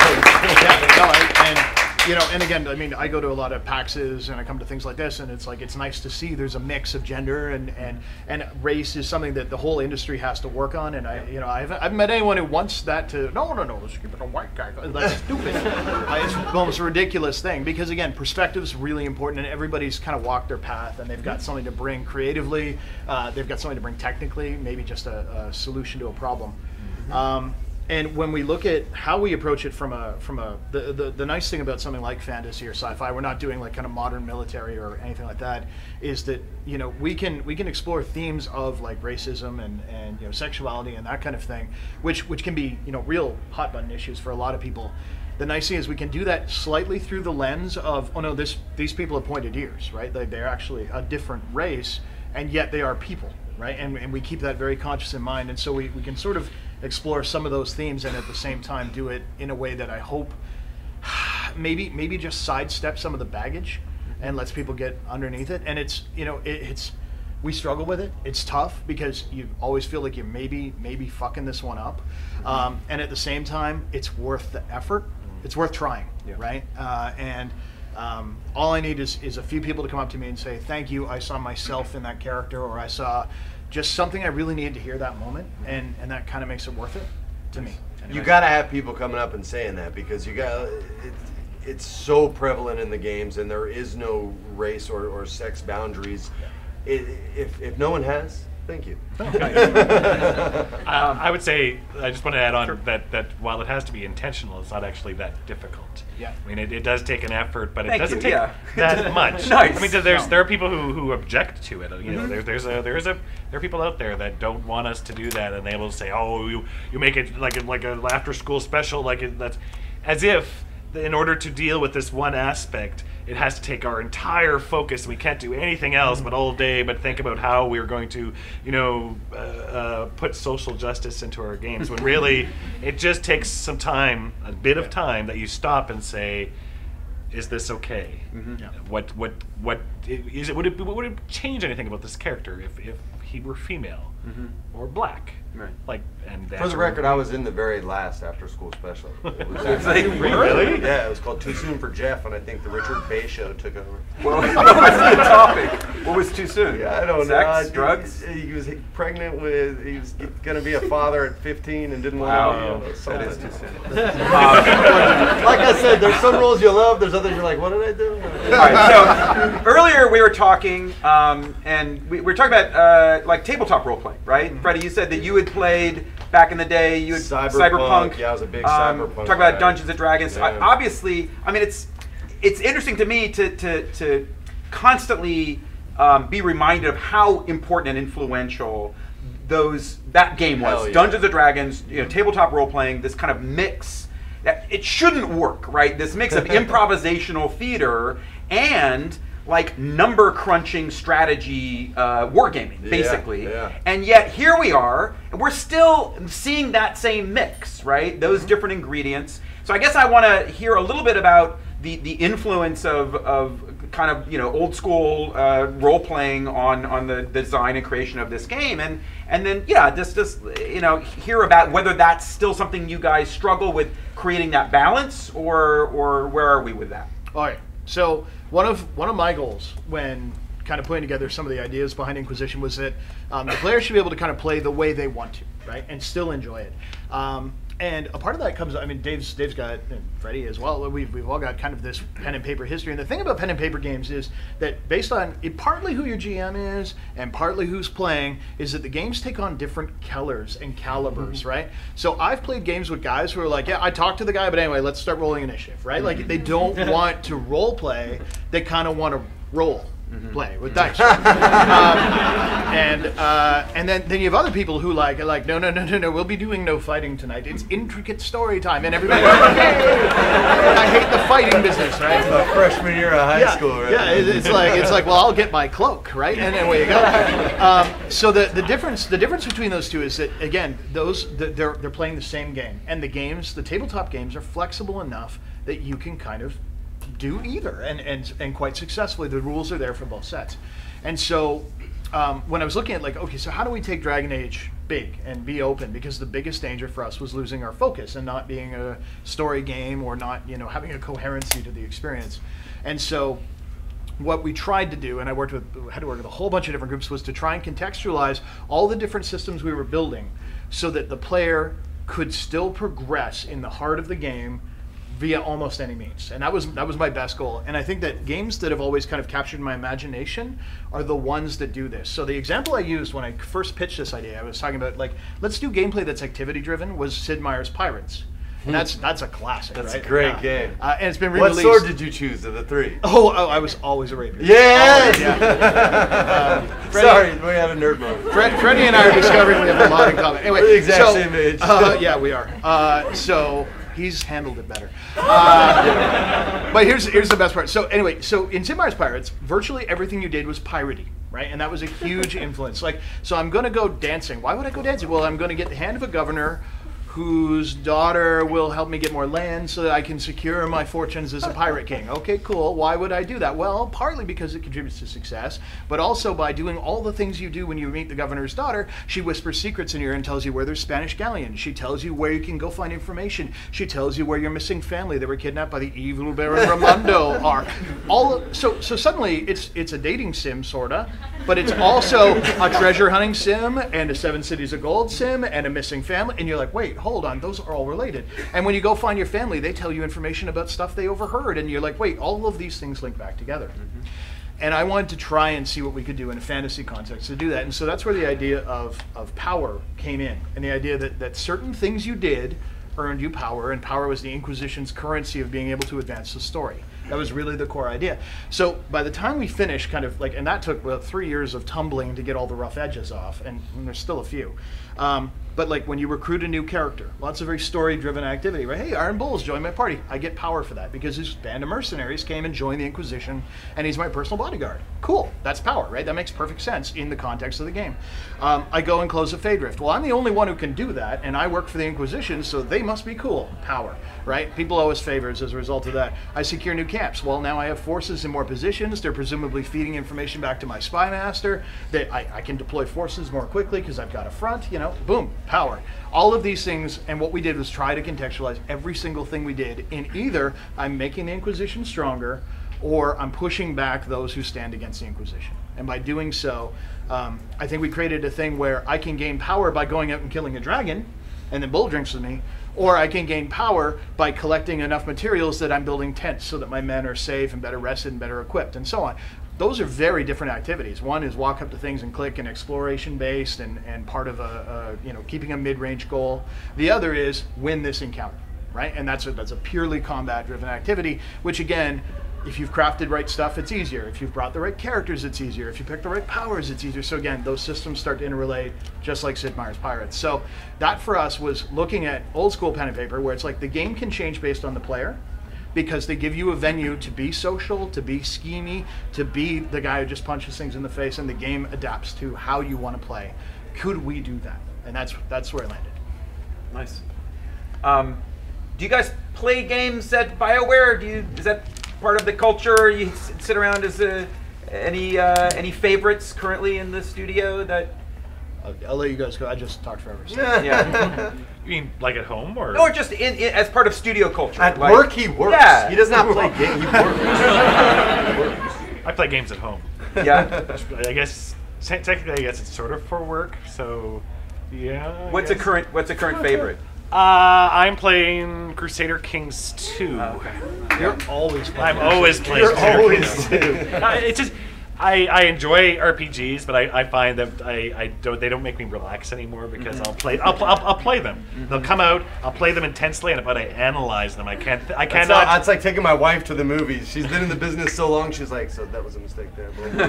I'm like, man, would you shut up, please? and I have to do it. Nobody knew who Keyser Söze was. Shut up. For real. Uh, but but yeah, I'll do it and I'll get it over with. Whereas the the games that I play um, that that I that I will enjoy, I think the most are the ones that are a little bit removed that still have a story, but tell tell the story in different ways. And Crusader, Kings 2 is just a game that I love just because it has a it's strategic and story based. That, that it has an emergent personal story that it, that it brings out through the strategy. And I mean uh, that that's a, a lot of different games do I, I like do that and sort of trying to think about story that isn't told through direct narrative. That uh, about the, the story that the player forms in their head, sort of emergent narrative, uh, and and how games can do that in different ways. It's, it's Yeah. a good exercise to engage in. Nice. I'm, I'm kind of like Dave. The ones that, that really sync with me. Um, I mean, I love RPGs for sure, uh, but ones that are RPG adjacent, that like share a lot of similarities with us, but they, it's kind of like it's kind of like holding up a thing and then turning it on its edge. It's like, oh, that's that's kind of cool. So, uh, be it a progression system in a shooter, or um, things things that I've really kind of been digging into, uh, like games like Starbound or Minecraft, stuff like that, where there's there's kind of elements of progression and a lot of freeform gameplay, but they're they're definitely not RPGs, but you can see kind of where they touch, right? Um, and those to me are incredibly incredibly compelling. Um, as well, other like takes on the RPG that aren't kind of like ours. Um, so one that I, I is an eternal favorite is the Dark Souls series. Um, they are they are they're, they're, they're fucking spectacular. they are they are the most brutally fair gameplay experiences you will ever have because because there is always a way to beat it. There is always a way to learn and get better. The game teaches you by punishing you. It's kind of like a dominatrix. Uh, and and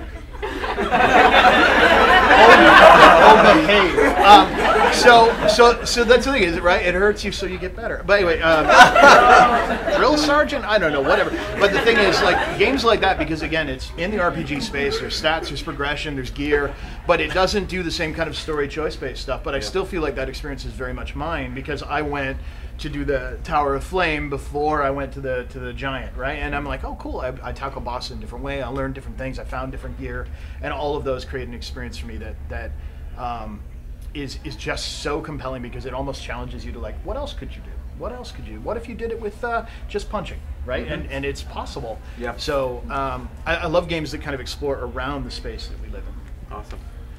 Um, what are you playing now, Freddie?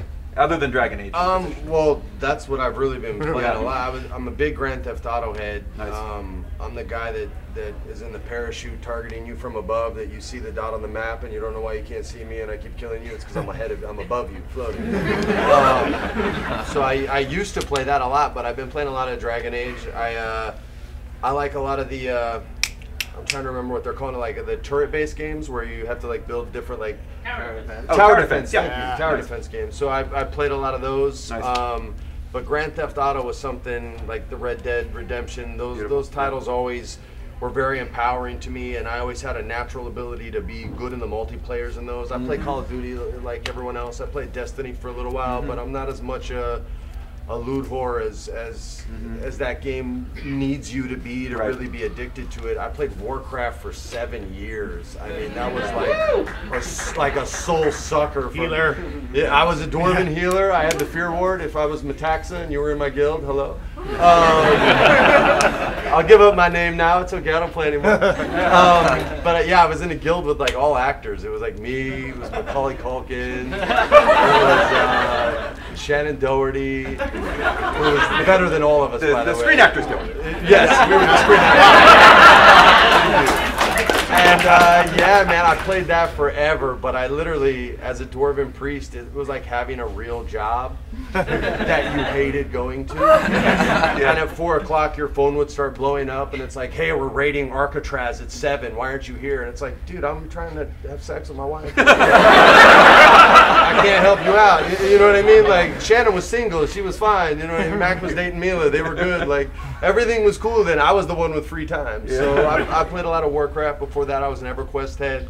Um, so I was a big role player guy. Um, I, you know, I was keyed for Vex Thal. You weren't, so suck it. Um, we ran that Wow. zone, man. Like we ran it. Guys would come to try to get it, and we would tag the mob before they could get it. We had this monk who could feign death and pull a guy across an entire zone. It was amazing. Nice. Um, so there was a trip down nerd lane for you guys. Yeah. But uh, but yeah, man, I like a lot of the old school arcade games. I was telling him my uh, I did this crappy baseball movie back in the day and rented this house uh, by the beach and I filled it with arcade games from this arcade uh, and you could rent them for like it was like a hundred bucks a month or something and then so I was like well how many games do you have and uh, Donkey Kong Jr. was one of them and so I played Donkey Kong Jr. till the joystick was almost broke and I loved that game so the old school I still get off on I play Zelda the original Zelda probably once a year just to just to play it again and, and in honor of, uh, of my man Robin who's who's no longer with us that was his favorite game ever um, and my man Kieran Culkin's favorite game ever too. So we kind of play once a year,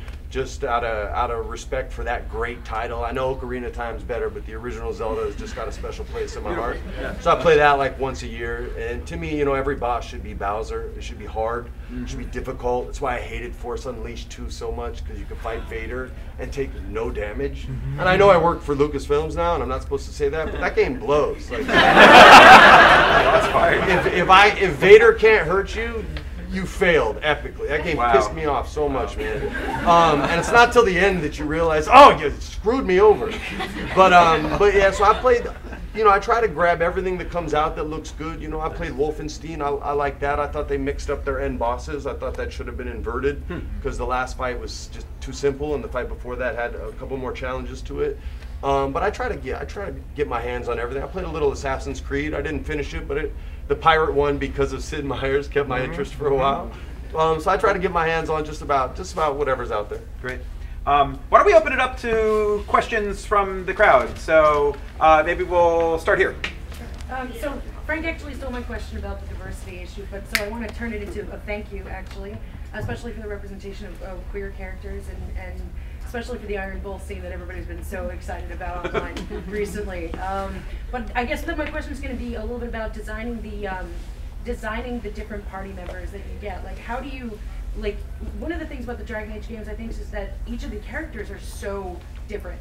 Like, I don't feel like anybody is overlapping in any way. So, mm-hmm. how do you go about doing that? Do you sit down and go, okay, maybe we had somebody a little bit too much like that? Like, how do you how do you design these characters and flesh them out? Well, um, I'll, I'll throw I'll throw it kind of at a high level. The, the, the high level goals, and Dave can talk to the specifics how we do this. Is um, that what we what we want are characters that are characters first, right? And they don't they shouldn't serve a role in the game. Like this is the warrior who is straight. Like fuck that. No, I want I want I want someone with an intriguing history and, and, and that kind of thing. So we start with character rather than starting with stats or starting with with uh, uh, splits. Um, and the, the the big thing we do to make them feel different and make sure that they're different is that we make sure that um, and we do more character concepts than see the light of day for sure but the ones that survive are ones that basically have anteed in right they have stakes in what's happening in the game so if you uh, a- a- so if we had a, a, uh, a mage who you know was just kind of like whatever about the circles and i don't really care about the chantry well, then why are you here, right? exactly. Why would you join the Inquisition in, in part, but also why are you part of this game, right? Whereas Vivienne has absolutely firm views, and they conflict with Solas's, right? And that that that makes them suddenly those two are excellent characters because they're opposite poles. She gets mad at me all the time, Yeah, man. And I try to. I'm telling you, I love Vivienne. I wanted to romance her character, and I just, man, I made her mad so much. I was like, I'm going with Sera. This is really, it's tough, man. But to go to what you're saying, all those characters, and I, I can speak on this as an actor. It's all about motivation, right? They're all working towards the same goal, but they all have different motives on how they want to get there. And it's the games when everybody's like, that guy sucked and it's because of A, B, and C that you're kind of like, okay, I'll finish the game, but whatever. It's it's better when it's that guy sucks and it's A, B, and C, and someone else goes, yeah, but it's also D, E, and F, and this guy likes X, Y, Z, and you know what I mean? It's just different motivation. That's what makes it a character-driven game. That's what these guys do so great. There's some smoke blown at you, but it's the truth. it's the truth. Um, sorry. Go, go for it. Oh, uh, I, I was just gonna say, uh, other than the obvious things, I, I guess the the thing that people probably don't know is that it's very collaborative. Um, it's not just the writers. I mean, a, a writer could go and we write, think of this fantastic story for this character, right? like you know, I, you know, ten tons of fan fiction about it, and then hope that everybody loves the character enough to make it make them in the game. But it's it's it's a slower process than that. We we come up with sort of uh, ideas that grab us because it has to be. Has, I encourage my writers to come up with ideas of things they want to write. I mean, uh, somebody out in the audience, you know, we get ideas. People people saying, "Why did you write a character like this?" and uh, sometimes at the end of the day, it's because nobody wanted to. We had, it has to grab us first, yes. And but it's like we'll, we'll sort of sort of do these these sort of brief ideas. We, we throw them to like concept artists, for instance, and they come back with some, you know, things that grab them, and they'll do these pictures. And sometimes you'll see a concept for a character, and you're like, even one that's you sort of "Ah, I don't know if that's really interesting, and it'll come back with a picture, and suddenly it's like, boom. Vivienne, I think was. That. Vivienne was exactly that. Yeah. Well, Those are the boots. Yeah. the first, the first concepts we got back for her, she was white and blonde and and, and, and an ice queen and stuff. But She looked like Alex. yeah, a little bit, but but an ice queen version of Alex. And, Right. and that was sort of ice queen was kind of her initial concept, and it didn't really grab us. And then one day, I, I forget who it was, maybe Matt. Yeah. Matt Rhodes. uh, did a version of her where he, he made her black, and I, I'd say that's the one, and, and just And uh, super imperious stylish. and Yeah, super yeah. stylish, Yeah, like like had, that's where he had, had sort of the Maleficent version, and he ca- brought that back and said, "What about this?" And she then- talks to you about your fashion. Yeah. Like, that's how much. Yeah. that- and, that, Well, and so that's why of she that. didn't until like we got this concept. We're like, That's this is cool. this That's not like- outfit is, is a woman who. Oh my God, she Mary is aware Kirby, of every part of her. Mary appearance. Kirby was like, as soon as she saw that picture, I think she was like, "I want to write this character." okay, so uh, uh, there's a, a period of that, and it, there's a lot of back and forth even after that fact, because we're you know in order to make them fit, we'll talk. We'll, we'll be starting to write a character. We'll say, well, these characters overlap too much, so I'll get the writers together and we'll discuss it. And sometimes it means that character is now cut. Somebody goes up in the bathroom and cries for a while, and uh, but it's it's just a matter of us us talking it out as a group. We're writing this all together, but it's not just the writers. It's it's people like like Mike. It's it's the artists. It's, it's- sometimes it'll be a programmer who comes into the room and and says, "I have an idea," and, and talks to me about it, and I'll be like. That idea sucks. but that one piece of what you said is a really neat kernel of an idea, and suddenly later it'll blow, blow up into an entire plot of its own. That's and that's happens. something important to remember in, in, in all forms of art. Like, sometimes you may think an idea sucks, pitch it. Because there may be one part in there that inspires someone else that then inspires you, and all of a sudden you guys have exactly what you thought you had in the first place but didn't. So, always, uh, what he just said is super important in, in screenwriting, video games, whatever it is you want to do. That's so important. So, so, so unless important. unless it's that campaign you ran as a DM or that character you ran in that campaign and you want to come ago. and tell me all about it. Wait, so let me just do break it to you. It's it's no it's telling other people about your D&D campaign is never interesting. So you're gonna sit on the opposite end of the table at dinner for me tonight? Perfect. Perfect. Patrick uh, Patrick Weekes has a uh, last thing, just a piece of advice. Patrick Weekes has a mantra he uses for that, which is Patrick hey, Weekes wrote everything I said, yeah, by the way. Yeah, awesome. Bull Solas, anyway, a bunch of characters. He's, he's awesome. Anyway, so Patrick will say, "This is not a good idea," and I know that, but it might get us to one. don't don't be afraid to use that. That's actually really powerful. It's like I don't have any ego in this. I know this is dumb, but combat ballerinas. you know, you could probably make that work if you if you if you Rambo and dig Degas. Yeah, exactly. he'll he'll do that, he'll, and, and it's a, it, it- you encourage people to talk, and he, he'll say combat ballerinas, and I'll be I'll be, I'll be in the middle of a meeting, and I'll stop, and I'll be like, oh, it's another one of these. but it breaks but, the ice. but it, the bri- ice. it, it gets us talking, and like by the time we're finished, it's neither combat nor ballerinas. But you know, so, you know, we went through like Sailor Moon and down into you know that dirty movie we watched on the weekend, and, and then boom, suddenly we're we're we're at the edge, and, and somebody will finally throw out something, and it's like the, the, the quiet writer in the back of the room, Brienne. She, she sometimes will just throw something out, and we'll all stop and. She thought it was an, she thought it was stupid. She was like joking, and, and everybody will stop and realize you have that moment, that that that that, that creative moment of lightning striking, where you're like, that might actually work, and you sort of got to pose the question of the room, and everybody's like, eh, and that's that's how it happens. Okay, now we stop. awesome. Um, I want to I want to hear from someone in the back. So in the striped shirt. To one question. Yes. Uh, Hi, uh, well, um, I love a lot of Square games. Like, they're all awesome. Uh, one of the things that I like the most about them is that they have like deep duality between the path that the hero has to take, like from start to finish, like the story that you're telling. But at the same time, you have all the universe built around it, which there is Mass Effect or uh, Dragon Age. Um, how do you balance those two between the uh, the hero's journey, which is the journey that your character is taking, and the world around it, but it's not too big, but also for impact? So just to repeat it for the mic, how do you balance between world building a world that's the right scale and focusing on the characters, on the intimate character stuff? that's kind Well, of my entire job. First, you acquire one David Gaider, and uh, so one of the one of the big things we do is is um, so when it, here's the thing is no one no one it's like Star Trek no one likes lore.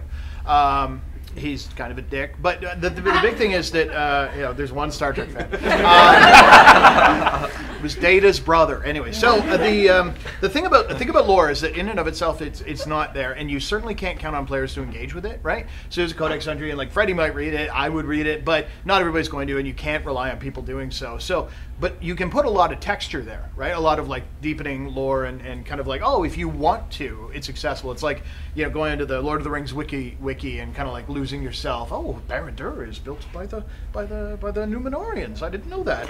You know, you can do that kind of thing. But more importantly, um, what you need to do is have an arc that, that in and of itself has a clear objective, right? Has a clear purpose for the player to achieve. Because if you have a player who isn't like into the story and doesn't understand like the, the deep kind of meaningful blah blah blah of the politics, if you can say, but go there and punch that guy in the face, and, and then ideally give them a couple of different ways to go there or any number of systems allow them to go there then then players who aren't engaging on the lore level can still engage with the gameplay right? And that becomes very important. And what happens you, we find this very organically. And if you read certain reviews of like dragon age people are like yeah i didn't really know what was going on and i think that maybe that was bad but anyway 10 hours in i couldn't stop playing. And that's part of the process of saying i knew what to do and even though i maybe wasn't engaged with the world or was a new player it was clear enough to proceed. And over time you start to absorb the world into your awareness because we try to write consistently. Where lore becomes important then is that the writing team or your design team or whoever you have that's touching it in any way has to know it very well and inside and out because it's the glue that silently holds together you know the the the, the nucleus and the electrons right? It's the thing that that, that keeps you um, keeps your world coherent and self kind of consistent. Because if you start breaking your own rules then it falls apart. If you if it happens a lot. You'll play a game and uh, they've only designed the, the world that they need immediately and you qu- very quickly get a sense that outside of that immediate, immediate area there is no world and it, it, i think it just happens like the, the, the writers the, the game makers need to know it and even if they don't always bring it up, there'll be like that little offhand reference. I'm not going to say the name of the game I want to say right now, but I really want to say it. I'm not. That's probably best. It's best. It's best. I don't want to hurt feelings. Um, yeah, another one from the back. Yes. Yes. Um, so at other game development studios, there's a lot of parallel between the creative director and the writer.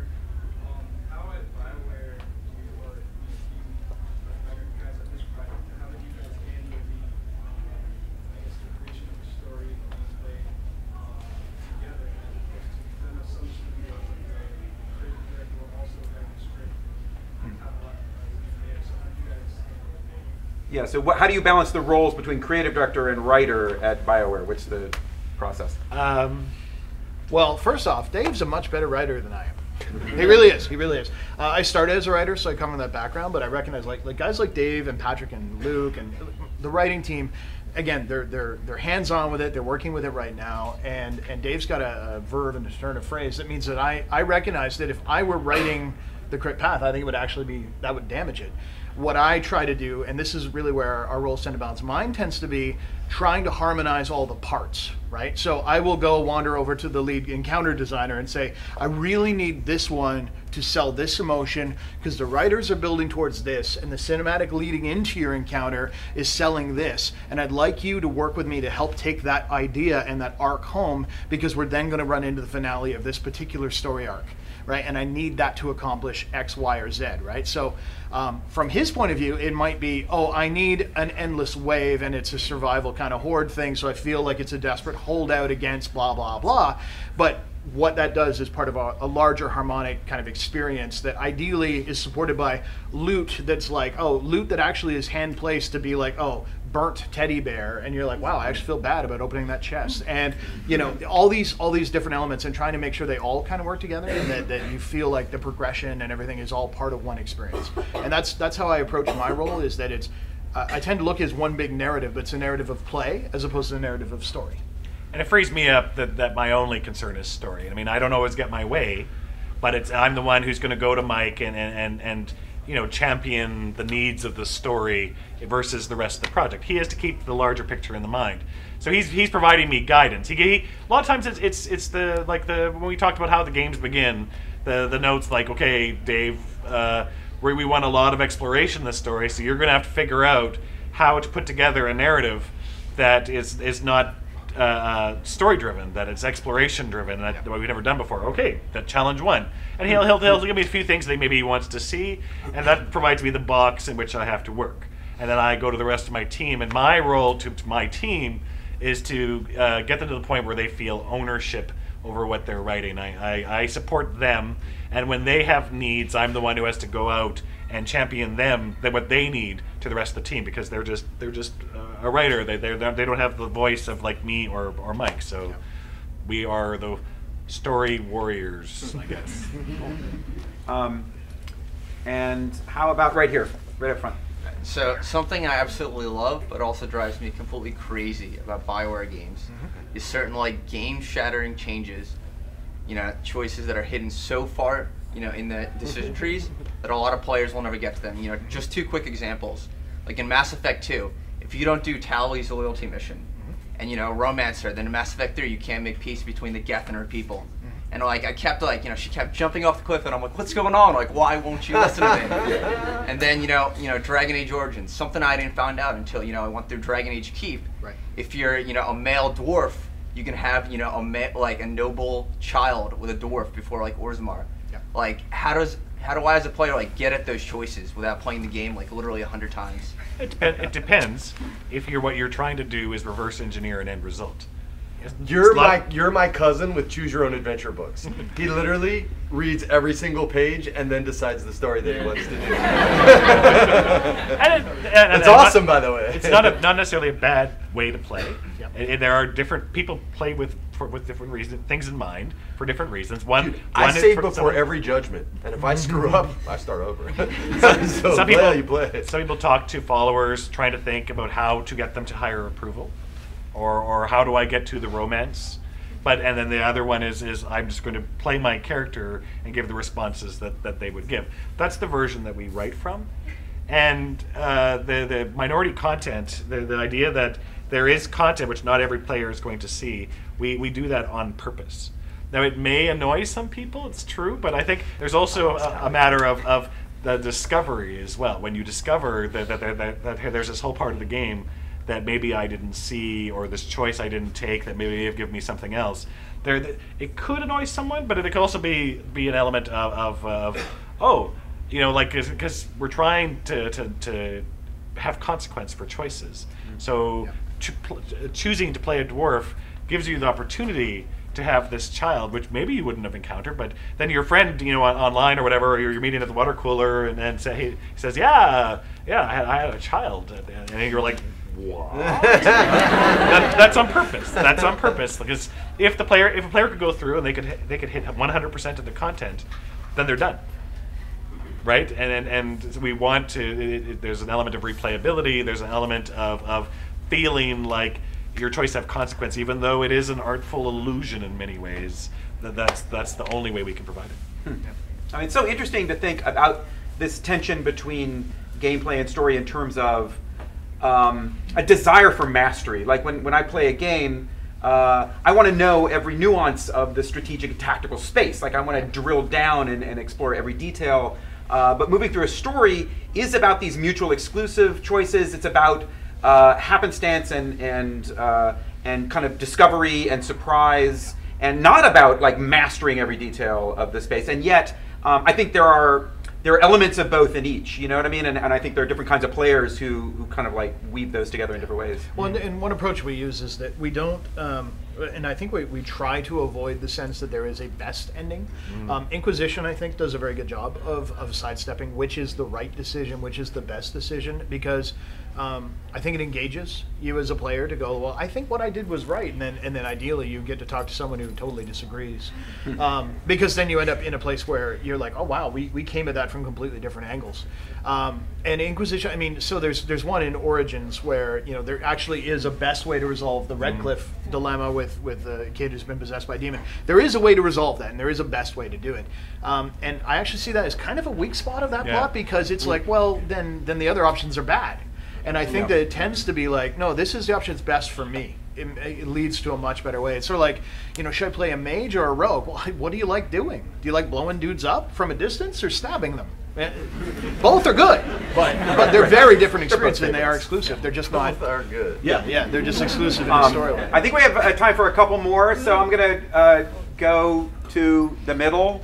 And yes, how about yes, yes, you in the Okay. yes. Hi. Um, yeah, I just wanted to ask about the different love interests in the game and how much of it is something that kind of naturally comes out of writing them, or how much is like a thing you want to hit a certain target audience or whatever. And were there ever times where you had to say to a writer, like, look, we need this kind of love interest. Or could you write this as a love interest now?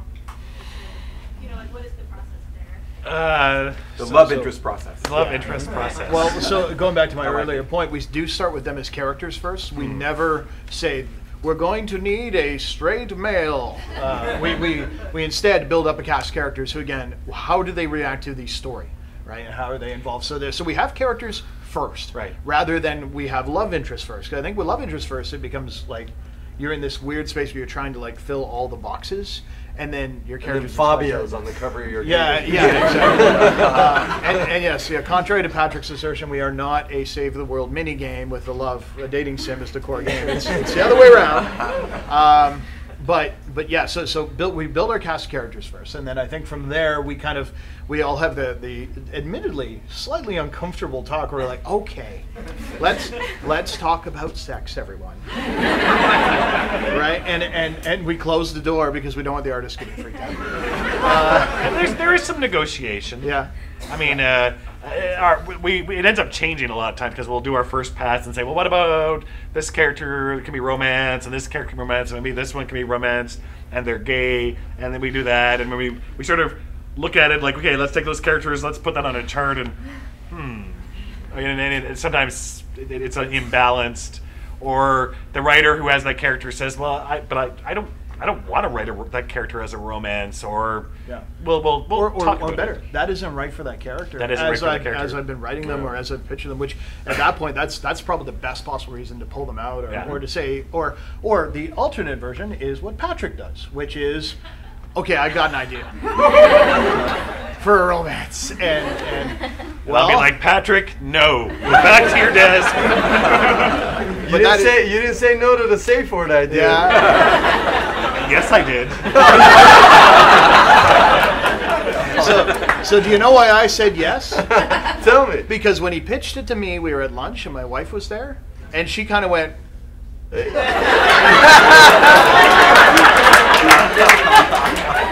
He should do that. and I went, I feel like there's a subtext here. It's not that sub. Yeah, yeah. Neither is bull. Ba, da, da. Anyway, uh, so um, yeah, so so anyway, start with characters, build them through. Uh, yeah, Dave's right though. We do we do gut check because sometimes we'll be like, yeah, that seems like that could really work, and then we look and we like, oh crap. Uh, sometimes it doesn't work because of wrong. what what it says. Like like uh, uh, we have they're too similar. Yeah. Or maybe it's like okay, like what what would those those what are we saying about that sexuality with that those characters or those choices and and I mean uh, uh, there's there's only we will never get it perfect because I mean it's it's not a ma- we can't let the tail- Qunari sex is perfect. we, we can't let the tail wag the dog at the end, right? We can't change change all the all the all the characters and you know force writers to, to, to write something they don't believe in just to service uh, like like these neat little boxes being checked can happen but we, we got to think about it and, and, and give it some consideration and, and think about what we're what we're saying even though we're not trying to say it like when we're mm-hmm. inadvertently mm-hmm. saying it because the, the, the part of the, the original goal we talked about a while ago was to invite people to play and to give them an experience they, they might enjoy Can I um, can I say the, the hmm. one thing we truly need to get right though next time?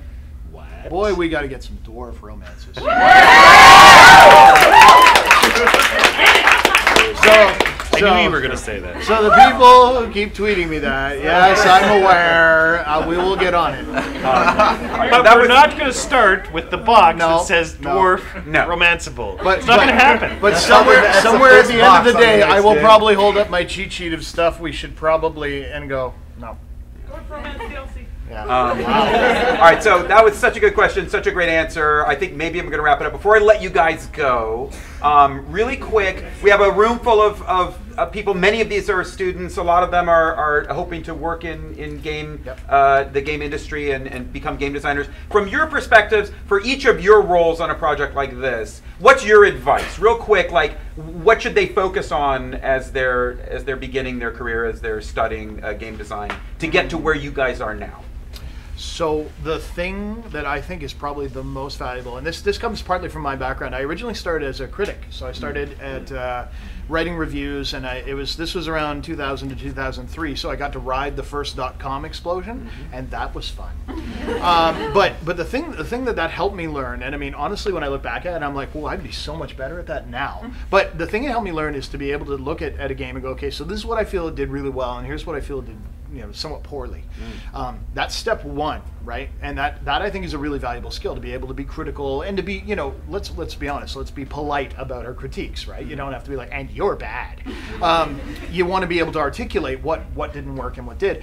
But the thing that's really important then is to say is to go that extra step, especially as game design students, and say so if I were looking at it, a can I figure out why that probably ended up shipping the way it did? Because there's always a reason, always a reason. No one ever goes, we'd like to, we'd like this to suck. No one ever does that. There's always something that fought, right? You know. Um, and the other, the other thing is then to say, if you were given a modest, modest amount of resources, not like a thousand programmers or anything, like what would you do? What, what kind of things would you do to address it? Because that set of things I just outlined is going to impress the living heck out of me at an interview. Let me tell you about the last game you worked on, politely, what I felt was particularly strong, what I think you should keep doing, what I think you had some weaknesses on, and what what kind of thought process I have around how you could make that better. And you may not be right, you may not understand. There, you, there's no way you can know why those decisions were made, but you thought about it. You won't offend us. No. Nobody criticizes our games more than we do. Nice. Good advice. How about uh, you two? Uh, uh, you know, if somebody comes into an interview for, for writing, um, the thing that probably impresses me quickly is that they did tabletop, that they ran, ran tabletop. it's, it's, it's really amazing. I've, I have found, like, it's not a guarantee, but chances are if they were a DM or GM, uh, they've got a lot of uh, innate storytelling, which is player driven. That, that, that there's a lot of skills there that translate over. You're building a story for your players. It's not necessarily your story, but it, you're- it's, it has to change and adapt. It depends depending on whether or not you're a good DM. Yeah. Uh, another one I always tell people. The, the, the other advice I always give is mod.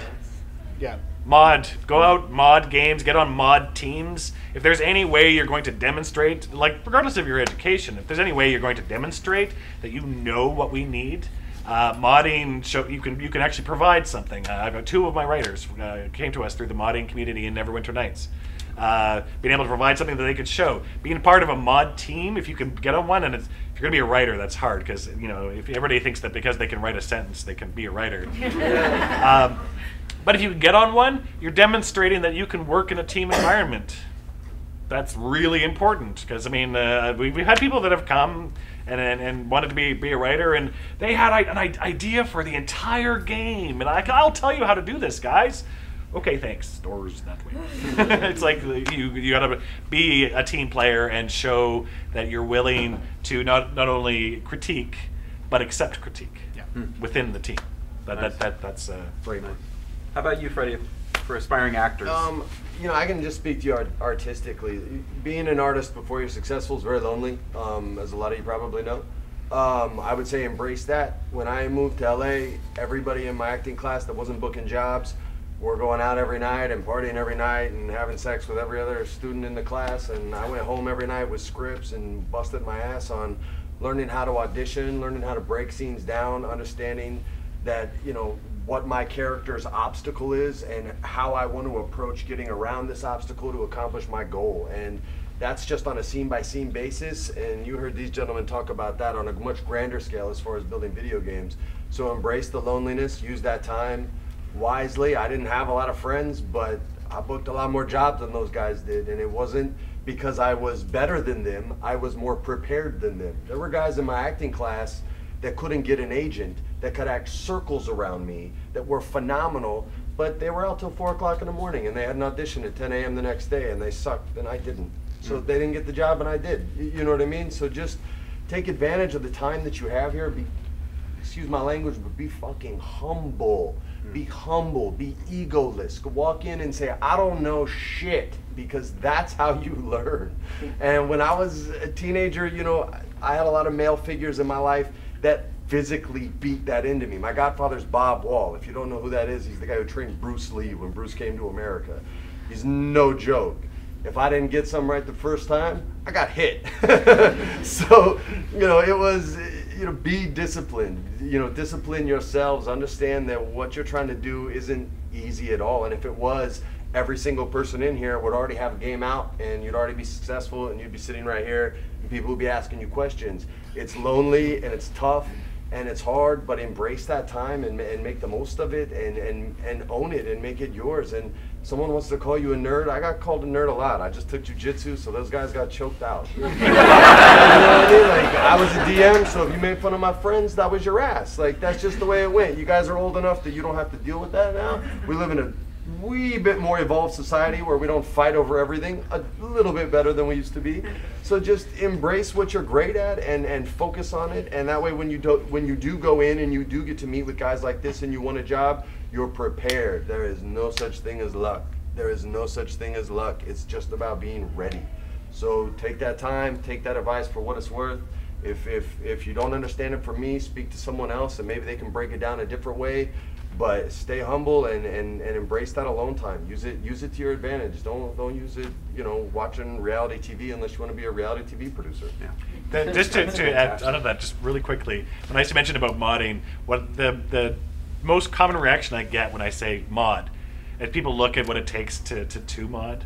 Like, well, I'll, you know, I'll have to learn how to how to do scripting and then maybe some C plus plus, and I'll have to figure out like that seems like a lot of work. Yes. what do you, do you honestly think that, that I come into work, sort of scribble off a couple of paragraphs, that's it, I'm done? It is a lot of work, and a lot of it is really unenjoyable and tedious. And then there's there's that it is eclipsed by moments of, of you know sheer awesomeness. But that you have to do the 99% of tedium that is absolutely required. And that you know if you actually if your response is oh it seems like a lot of work, and it's like wow this thing this job is so not for you. yes, remember Picasso threw away a lot of canvases before he was mm-hmm. selling stuff. You know what I mean? Like it's the Exactly, same for every artist, whether you're a, an actor, a painter, a, a game designer, a director, a, a, a a director of photography, a photographer. You know, whatever it is, it's it, it can be a lonely life because you're in your head a lot. A lot of us are very introspective. A lot of us become the shrinking violet in the room, right? We don't. We start to like disappear when people are watching us. Fuck that. Like just my ego's over there somewhere. I check that out. If you guys think I'm cool, right on. If you don't, right on. Like, just don't care. Focus on what your art is, what your craft is, and just kick ass, man. That That's is it. fantastic advice. You guys have been so generous. Thank you very much. This has been awesome.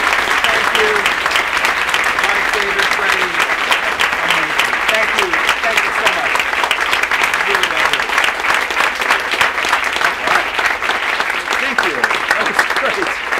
so good.